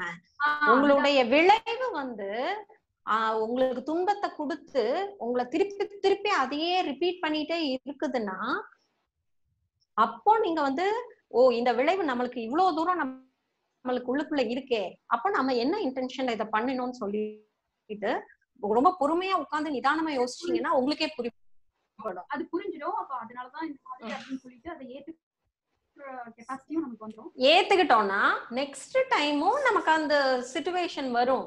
அதை விட்டு போகாது. நம்ம அது அந்த சுச்சுவேஷனோ வேற மாதிரி ஒரு ஃபார்ம்லயோ அதை ஃபேஸ் பண்ணுவோம். அப்போ நமக்கு வந்து ஈஸியா இருக்கும். இத புரிஞ்சுக்க புரிஞ்சுக்க நம்ம எளிமையாவே நம்ம வந்து சரியான செயல் நோக்கி புரியும். அதனாலதான் சொல்றோம் தர்மா எப்போ சேலஞ்சிங்கா தர்ம சங்கடம். சங்கடம் வரும்போது நம்ம இன்டென்ஷனை செக் பண்ணிக்கலாம். சங்கடமே இல்லைன்னா நம்ம போயிட்டு இருக்கிறதே சரியா தானே இருக்கு ஓகே இது இது வந்து ஒரு ஜெனரிக் நம்ம நம்மளுக்கே தெரியும். நம்ம ஒரு ஒரு. போது சரியா வரலன்னா அப்ப அது எங்கேயோ இடிக்குது. அதுவும் விடுபட்ட மனசுக்கு வந்து ரொம்ப ஈஸி ஒரே விஷயம் திருப்பி திருப்பி திருப்பி நம்ம சரியா செயல் நினைச்சு துன்பத்தையே கொண்டு வருதுன்னா அப்போ என்னன்னு நம்ம பார்க்க முடியும். நம்ம திருப்பி போய் அகத்துல மாற்ற மாதிரியான விஷயம் இல்ல. அந்த செயலுக்கு என்ன மெசேஜ் எடுக்கிறதுங்கிறது நமக்கு ஈஸியா அந்த அகம் புறம்னு பிரிச்சு டீல் பண்ண முடியும். சோ இது ரொம்ப ஒரு அடுத்த செயல் செய்யறதுக்கு வந்து முன்னாடி இன்னும் கொஞ்சம் அந்த அந்த இடைவெளிக்கு வந்து கொஞ்சம் இது ஹெல்ப்ஃபுல்லா இருக்கும். இல்ல இல்ல. அந்த கேப் கூட நான் சொல்லல. நம்ம ஆக்சுவலா என்னன்னா தவறு எது அப்படின்னு புரிஞ்சுக்கிறதோட நம்ம ஒர்க் ஓவர் திருப்பி வந்து தவறே பண்ணக்கூடாதுன்னுலாம் நம்ம டிசைட் பண்ண முடியாது. நம்ம தவறு எதுன்னு புரிய புரிய நம்ம தவறுகள் எல்லாமே நம்ம அதுல இருந்து நம்ம ஒரு முடிவு எடுப்போம். ஐயா நிறைய இன்சிடென்ட்ஸ்ல சொல்லியிருப்பாங்க. உங்களுக்கே ஒரு தெரியும்ல எங்க தவறு பண்ணியிருப்போம்னு உங்களுக்கே அது தெரிஞ்சிடும். அப்போ வந்து ஓகே நெக்ஸ்ட் டைம் அவாய்ட் பண்ணிக்கலாம்னு லைட்டா தான் முடிவு எடுக்கணுமே தவிர திருப்பி நான் நெக்ஸ்ட் டைம் பர்ஃபெக்டா செயல்படுவேன் கரெக்டா தான் இருப்பேன்னு அப்படியும் முடிவு எடுக்க முடியாது. தவறு எது அப்படின்னு தெரிஞ்சுக்கிறதோட நம்ம அறிவுக்கு வேலை முடிஞ்சிடுது. அதுக்கப்புறம் அதுக்கப்புறம் அதுவே வந்து அது புரிஞ்சுக்கும் எது சரியான செயல் அப்படின்னு சொல்லிட்டு. நம்ம ஃபோர்ஸ் எங்கேயுமே அப்ளை பண்ண முடியாது. நமக்கு இருக்கிற ஒரே ஆப்ஷன் வந்து நம்ம செயலுக்கு முன்னாடி திங்கிங் ரொம்ப போடுறோம் அப்படின்னு சொன்னா அந்த திங்கிங் வந்து என்ன பேசிஸ்ல இருக்குன்னு ஒரு ஆப்ஷன் இருக்கு. அவ்வளவுதான். ரிசல்ட்ல நமக்கு வந்து ஆப்ஷன் இல்ல. ஆப்ஷன் இல்ல. எனக்கு வந்து அந்த அந்த இன்டென்ஷனுமே அதோட சேர்த்துட்டதுனால நீங்க அதுல பொறுப்பு இருக்குன்னு சொல்லும்போது அந்த இடத்துல எனக்கு கொஞ்சம் கரெக்ட் நல்ல ரொம்ப ஆழமான கேள்விதான். ஆக்சுவலா இது வந்து ரொம்ப புதுசா வந்தவங்களுக்கு எல்லாம் குழப்பமா தான் இருக்கும். இது நீங்க நல்லா கன்ஃபார்ம் பண்ணதுனால உங்களுக்கு இவ்வளவு சொல்ற மாதிரி ஆயிடுச்சு. So I think you got the point got the point. முதல்ல இது இது பண்ணி இதுதான் இதுதான் அந்த இது இப்ப ரிசல்ட் நெகட்டிவா வந்தாலும் அதுவும் நம்ம பண்ணதுனால தான் அப்படின்றத ஏத்துக்கிறது வந்துச்சு. பெஸ்ட் ஆமா நம்ம வந்து தீரமா ஃபேஸ் பண்றோம் அத. அந்த துன்பத்தை ஏத்துக்கிறோம். பட் அந்த துன்பத்தை வந்து நம்ம மனசு எப்ப விடுதலையா இருக்கோ அப்போ நமக்கே ஆட்டோமேட்டிக்கா மெசேஜ் வரும். இது ஏன் கொடுக்கணும்? இதை அவாய்ட் பண்ணலாமே அப்படின்னு நம்ம மனசுக்கே அந்த தாட்டும் வரும். அப்போ அது அவ எது தவறுன்னு புரிஞ்சுக்கிறதோட சரி. சரி இப்போ இன்னொரு அது இது தொடர்பா இன்னொரு ஒரு இது. இப்போ என்னன்னா இப்போ நீங்க சொன்னீங்கல்ல ஸ்ட்ரைட் ஃபார்வர்ட்னு சொல்லிட்டு சொல்லிடுறாங்க. அந்த இது இல்ல ஹிப்போக்ரட்டிக்கா உள்ளது அப்- அப்படின்னு. அது. புரியுது பட் நிறைய சமயத்துல இன்டென்ஷன் கரெக்டா தான் இருக்கு. இப்போ ஒருத்தவங்களுக்கு வந்து ஒரு ஃபீட்பேக் கொடுக்குறோம் அதுவும் ஃப்ரெண்ட்லி யூஸ்ஃபுல்லா இருக்கணும் அப்படின்னா வந்து நம்ம பூச்சி முழுக கூடாது ஸ்ட்ரைட்டா கரெக்டா நம்ம நமக்கு நல்லா இருக்குன்னா நல்லா இருக்குன்னு சொல்லணும் இல்ல அப்படின்னா அதை வந்து நம்ம சுட்டி காட்டணுங்கிறது வந்து ஐ ஃபர்ம்லி பிலீவ் அது மாதிரி தான் மற்றவங்களும் இருக்கணும்னு நினைக்கிறேன். ஆனா இப்போ அந்த மாதிரி இன்டென்ஷன் கரெக்டா தான் இருக்கு. அதுல எந்த. டவுட்டும் கிடையாது. இன்ஃபேக்ட் அவங்க ஃப்ரெண்டா இருக்கிறதுனாலதான் உரிமையா சொல்றோம். ஜென்யூனா சொல்றோம். ஜென்யூனா சொல்லும் பொழுது மோஸ்ட் ஆஃப் த டைம் எவ்வளோ யாருக்கும் பிடிக்கிறது இல்ல ஏன்னா அது சொல்ற விதம் வந்து என்னோட இயல்புல எனக்கு நீங்க நீங்க சொன்ன மாதிரி மத்த இப்ப நீங்களோ அல்லது யாராவது இப்ப என்கிட்ட வந்து அந்த சாஃப்டாவோ அல்லது இதுவா சொன்னா நல்லாதான் இருக்கும். பட் அந்த மாதிரி சொல்லக்கூடிய பக்குவமோ. அல்லது இயல்போ இல்ல. பட் அது இன்டென்ஷன் கரெக்டா இருக்கு. செயல் வந்து எப்ப பாரு வந்து அது இந்த இடத்துல வந்து. ஸோ அதை வந்து நான் நியாயப்படுத்திட்டே இருக்கலாம் எனக்கு அது புரியுது. அவங்களுக்கு வந்து. இன்னும் கொஞ்சம் சாஃப்டா டேம்டா சொன்னா பெட்டரா. பட் அது அது- வந்து எப்ப- வருமோ என்ன வருமோ தெரியல. ஆனா இல்ல இல்ல. அதுதான். இந்த இடத்துலயுமே என்னன்னா இது வந்து உங்களோட unconscious behaviour okay intention correct ஆனா இதுக்கு முன்னாடி வந்து இன்டென்ஷன் இப்படி இருந்திருக்குமா எப்படி இருந்திருக்குமானும் நமக்கு தெரியாது. நான் சொல்றதை நான் சொல்லிடுவேன். ஆனா இப்பவே உங்களுக்கு தெரியுது அதே விஷயத்த சாஃப்டா சொன்னா நல்லா தானே இருக்கு அப்படின்னு உங்களுக்கே தெரியுது. தெரியுது. ஆனா சோ அப்ப இப்ப என்ன பண்ணலாம்னா இந்த சாஃப்டா சொன்னா நல்லா இருக்கும்னு நீங்க புரிஞ்சுக்கிட்டா போதும். அத வந்து இம்ப்ளிமெண்ட் நெக்ஸ்ட் டேயே பண்ணலாம் முடியாது. அது பிரச்சனை இல்ல. நம்ம வந்து சவுண்ட் ரைஸ் பண்ணாம ஆஹ், கொஞ்சம் சாஃப்டா சொல்லுவோம். அவங்களுக்கு ஏத்துக்கிற மாதிரி சொல்லுவோம். மேபி ஃபர்ஸ்ட் அப்ரிஷியேட் பண்ணிட்டு அதுக்கப்புறம் எந்த நல்ல விஷயம் இருக்கோ அதை சொல்லிட்டு அப்புறம் நெகட்டிவா சொல்லுவோம். அதோட பிளஸ் அண்ட் மைனஸ் சொல்லுவோம். சொல்ற விதம் இருக்கு இல்லையா? அந்த விதத்தையே மாத்திக்க கூடிய இதுவும் வந்து பவர்ஃபுல்லாலாம் இருக்காது. பட் நம்ம ரியலைஸ் பண்ண பண்ண பண்ண அதுவே வந்து இட் வில் ஹேப்பன் இப்போ ஒரு குழந்தை- ஃபோர்ஸ்ஃபுல்லா குழந்தைகிட்டயோ பெரியவங்க கிட்டயோ அது ஆட்டோமேட்டிக்கா வருது. சிமிலர் ஏஜ்ல உள்ளவங்க கிட்ட வந்து அது அதை பெருசா பண்ணிக்க வேண்டாம். பட் அங்கேயும் நம்ம ஒரு டெசிஷன் எடுக்கலாம். அவங்க கிட்டயும் நம்மளால மாத்திக்க முடியும். நம்ம நமக்கு அந்த கேப் இருக்கு நமக்கு அது இருக்கு அப்படின்னு சொல்லி அதே லைட்டா வச்சுக்கோங்க. அது எடுத்த டெசிஷன் எடுத்த உடனே சேஞ்ச் ஆக மாட்டீங்க. பட் டிசைட் பண்றதும் அவசியமா இருக்கு. புரிஞ்சுக்கிறது மூலமா. சோ அப்போ அந்த இடத்துல டிசைட் பண்ணா மட்டும் அது போதும். நம்ம ஒரு ஒரு தடவை அந்த மாதிரி செயல்படும் போதும் அந்த டெசிஷன் வந்து நம்ம இன்னும் பெட்டரா பண்ணலாம். இதுல இது இந்த மாதிரி தவற அவாய்ட் பண்ணலாம்னு நீங்க உணர்ந்துட்டு வரும்போது ஆட்டோமேட்டிக்காவே அது வந்து அது அதுவும் ஆட்டோமேட்டிக்கா it will happen I think அது கரெக்ட் நினைக்கிறேன். என்னன்னா ஐ யூஸ் டு ஜஸ்டிஃபை என்னன்னா ஏன் உங்களுக்கு எதுக்கு அவ்வளோ நம்ம வந்து அத ரொம்ப போட்டு இது பண்ணணும்? அடல்ட்னா அடல்ட்டா ஹேண்டில் பண்ண வேண்டியது தானே? அப்படின்ற மாதிரி அந்த ஜஸ்டிஃபை பண்ணிட்டு இருந்ததை வந்து டிராப் பண்ணிட்டு மேபி கரெக்ட் அடல்ட் நம்ம அடல்ட்னா கூட குழந்தை தான் அந்த இடத்துல. அவங்க நம்ம கிட்ட ஒரு ரிசல்ட்ட கேட்கும் போது அவங்க பாசிட்டிவா தான் எதிர்பார்ப்பாங்க. சோ அதுலயும் ஒண்ணும் குறை கண்டுபிடிக்கிறதுக்கு ஒண்ணும் இல்ல. நமக்கும் சாஃப்டா யாராவது சொன்னா தானே பிடிக்குதுங்கிற பாயிண்ட் புரிஞ்சா போதும்.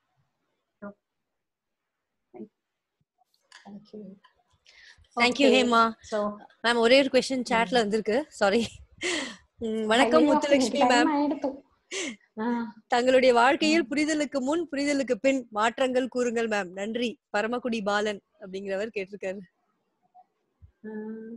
இப்போ அதெல்லாம் சொல்லலாம். சொன்னதுக்கு அப்புறமா இந்த மனசு என்ன பண்ணிடும் அப்படின்னு சொன்னா அப்ப நான் இப்படி இருக்கனா? அப்ப அவங்க அப்படி இருக்காங்களான்னு சொல்லிட்டு திருப்பியும் அது சைக்கலாஜிக்கலா கோல் ஆக்கிட்டு திருப்பி ஆடிடும். நான் நிறைய இடத்துல நான் சொல்லியிருக்கிறேன். என்னோட இயல்பெல்லாம் ஸ்ட்ராங்கா இருந்ததெல்லாம் உடஞ்சிருக்குன்ட்டு. சோ என் லைஃபையும் உங்க லைஃபையும் அது கம்பேர் பண்றதுக்கு ஒரு திருப்பியும் அது ஒரு கல்பரேட் மாதிரி ஆயிடும். சோ அப்படி பார்க்க வேண்டாம். நம்ம இயல்பு நாம எதுவுமே பண்ணாம மண்டியிடும் போது அதுவாவே அழகா மாறுறத நாமளே ரசிக்கணும். அதான் கோல் சோ இன்ஃபேக்ட் ஐயா முதல்ல எல்லாம் சொல்லும்போது கொஞ்சம் கூட பிடி கொடுக்க மாட்டாங்க. அதெல்லாம் மாறாது. எதுவும் பண்ணாது அப்படி சொல்லுவாங்க. அதுக்கப்புறமா நாமளே ரியலைஸ் பண்ணுவோம். ஆமா அதுவா தானே மாறுச்சு. நீங்க மாத்தல இல்ல அப்படின்னு சொல்லுவாங்க. சோ இந்த இடத்துல நம்ம பர்சனலா நம்மளை பத்தி சொல்றதே வந்து இன்னொருத்தங்களுக்கு அது சைக்கலாஜிக்கல் கோல் ஆகி திருப்பியும் வந்து துன்பம் ஆயிடும் சோ சாரி பிரதர் அந்த மாதிரி கோல் எதுவும் செட் பண்ணிக்க வேண்டாம். நாம சரியான செயலை செய்யணும் தவற கைவிடணும் அப்படின்னு முடிவெடுத்தாலே உள்ளுக்குள்ளேயும் திரும்பாம வெளியிலையும் சரியானதை மட்டும் பண்றத வரைக்கும் புரிஞ்சுட்டாலே நமக்குள்ள நிகழ்ற டிரான்ஸ்ஃபர்மேஷனுக்கு நாம மட்டும்தான் சாட்சி. வேற யாருக்கும் அது வந்து ப்ரூவ் பண்ண வேண்டாம். கூட இருக்கிறவங்க உணர்ந்துப்பாங்க. ஓகே நன்றி மேம் வைண்ட் அப் பண்ணிடலாமா? ஷூர் ஷூர் ஓகே நன்றி Muthulakshmi ma'am thank you so much இவ்வளோ பொறுமையா எல்லா கேள்விகளுக்கும் பதில் சொன்னீங்க. ரொம்ப ரொம்ப தேங்க்ஸ் பார்ட்டிசிபென்ட்ஸ் எல்லார் சார்பாகவும் உங்களுக்கு நன்றி சொல்லிக்கிறேன். Thank you so much it's my pleasure அதுவும் இன்னைக்கு ஹேமா கேட்ட சட்டிலான கொஷின்ஸ்லாம் ரொம்ப சந்தோஷமா தான் இருந்தது. ஸோ மேபி கொஞ்சம் ஹெல்ப்ஃபுல்லா இருக்கும்னு நினைக்கிறேன். நம்ம மிஷனோட பர்பஸே என்னன்னா அகத்துல விடுதலையாகி புறத்துல சரியான செயலை செய்யறதுக்கு கைட் பண்ணுங்கிறது தான் அதுல ஒரு பர்சன்ட் இன்னைக்கு நடந்திருக்கும்னு நினைக்கிறேன். So thank you so much Usha. And thank you participants நம்ம அடுத்த ஃப்ரைடே திருப்பி இந்த செஷன் வச்சுக்கலாம். Thank you ma'am thank you. Yeah.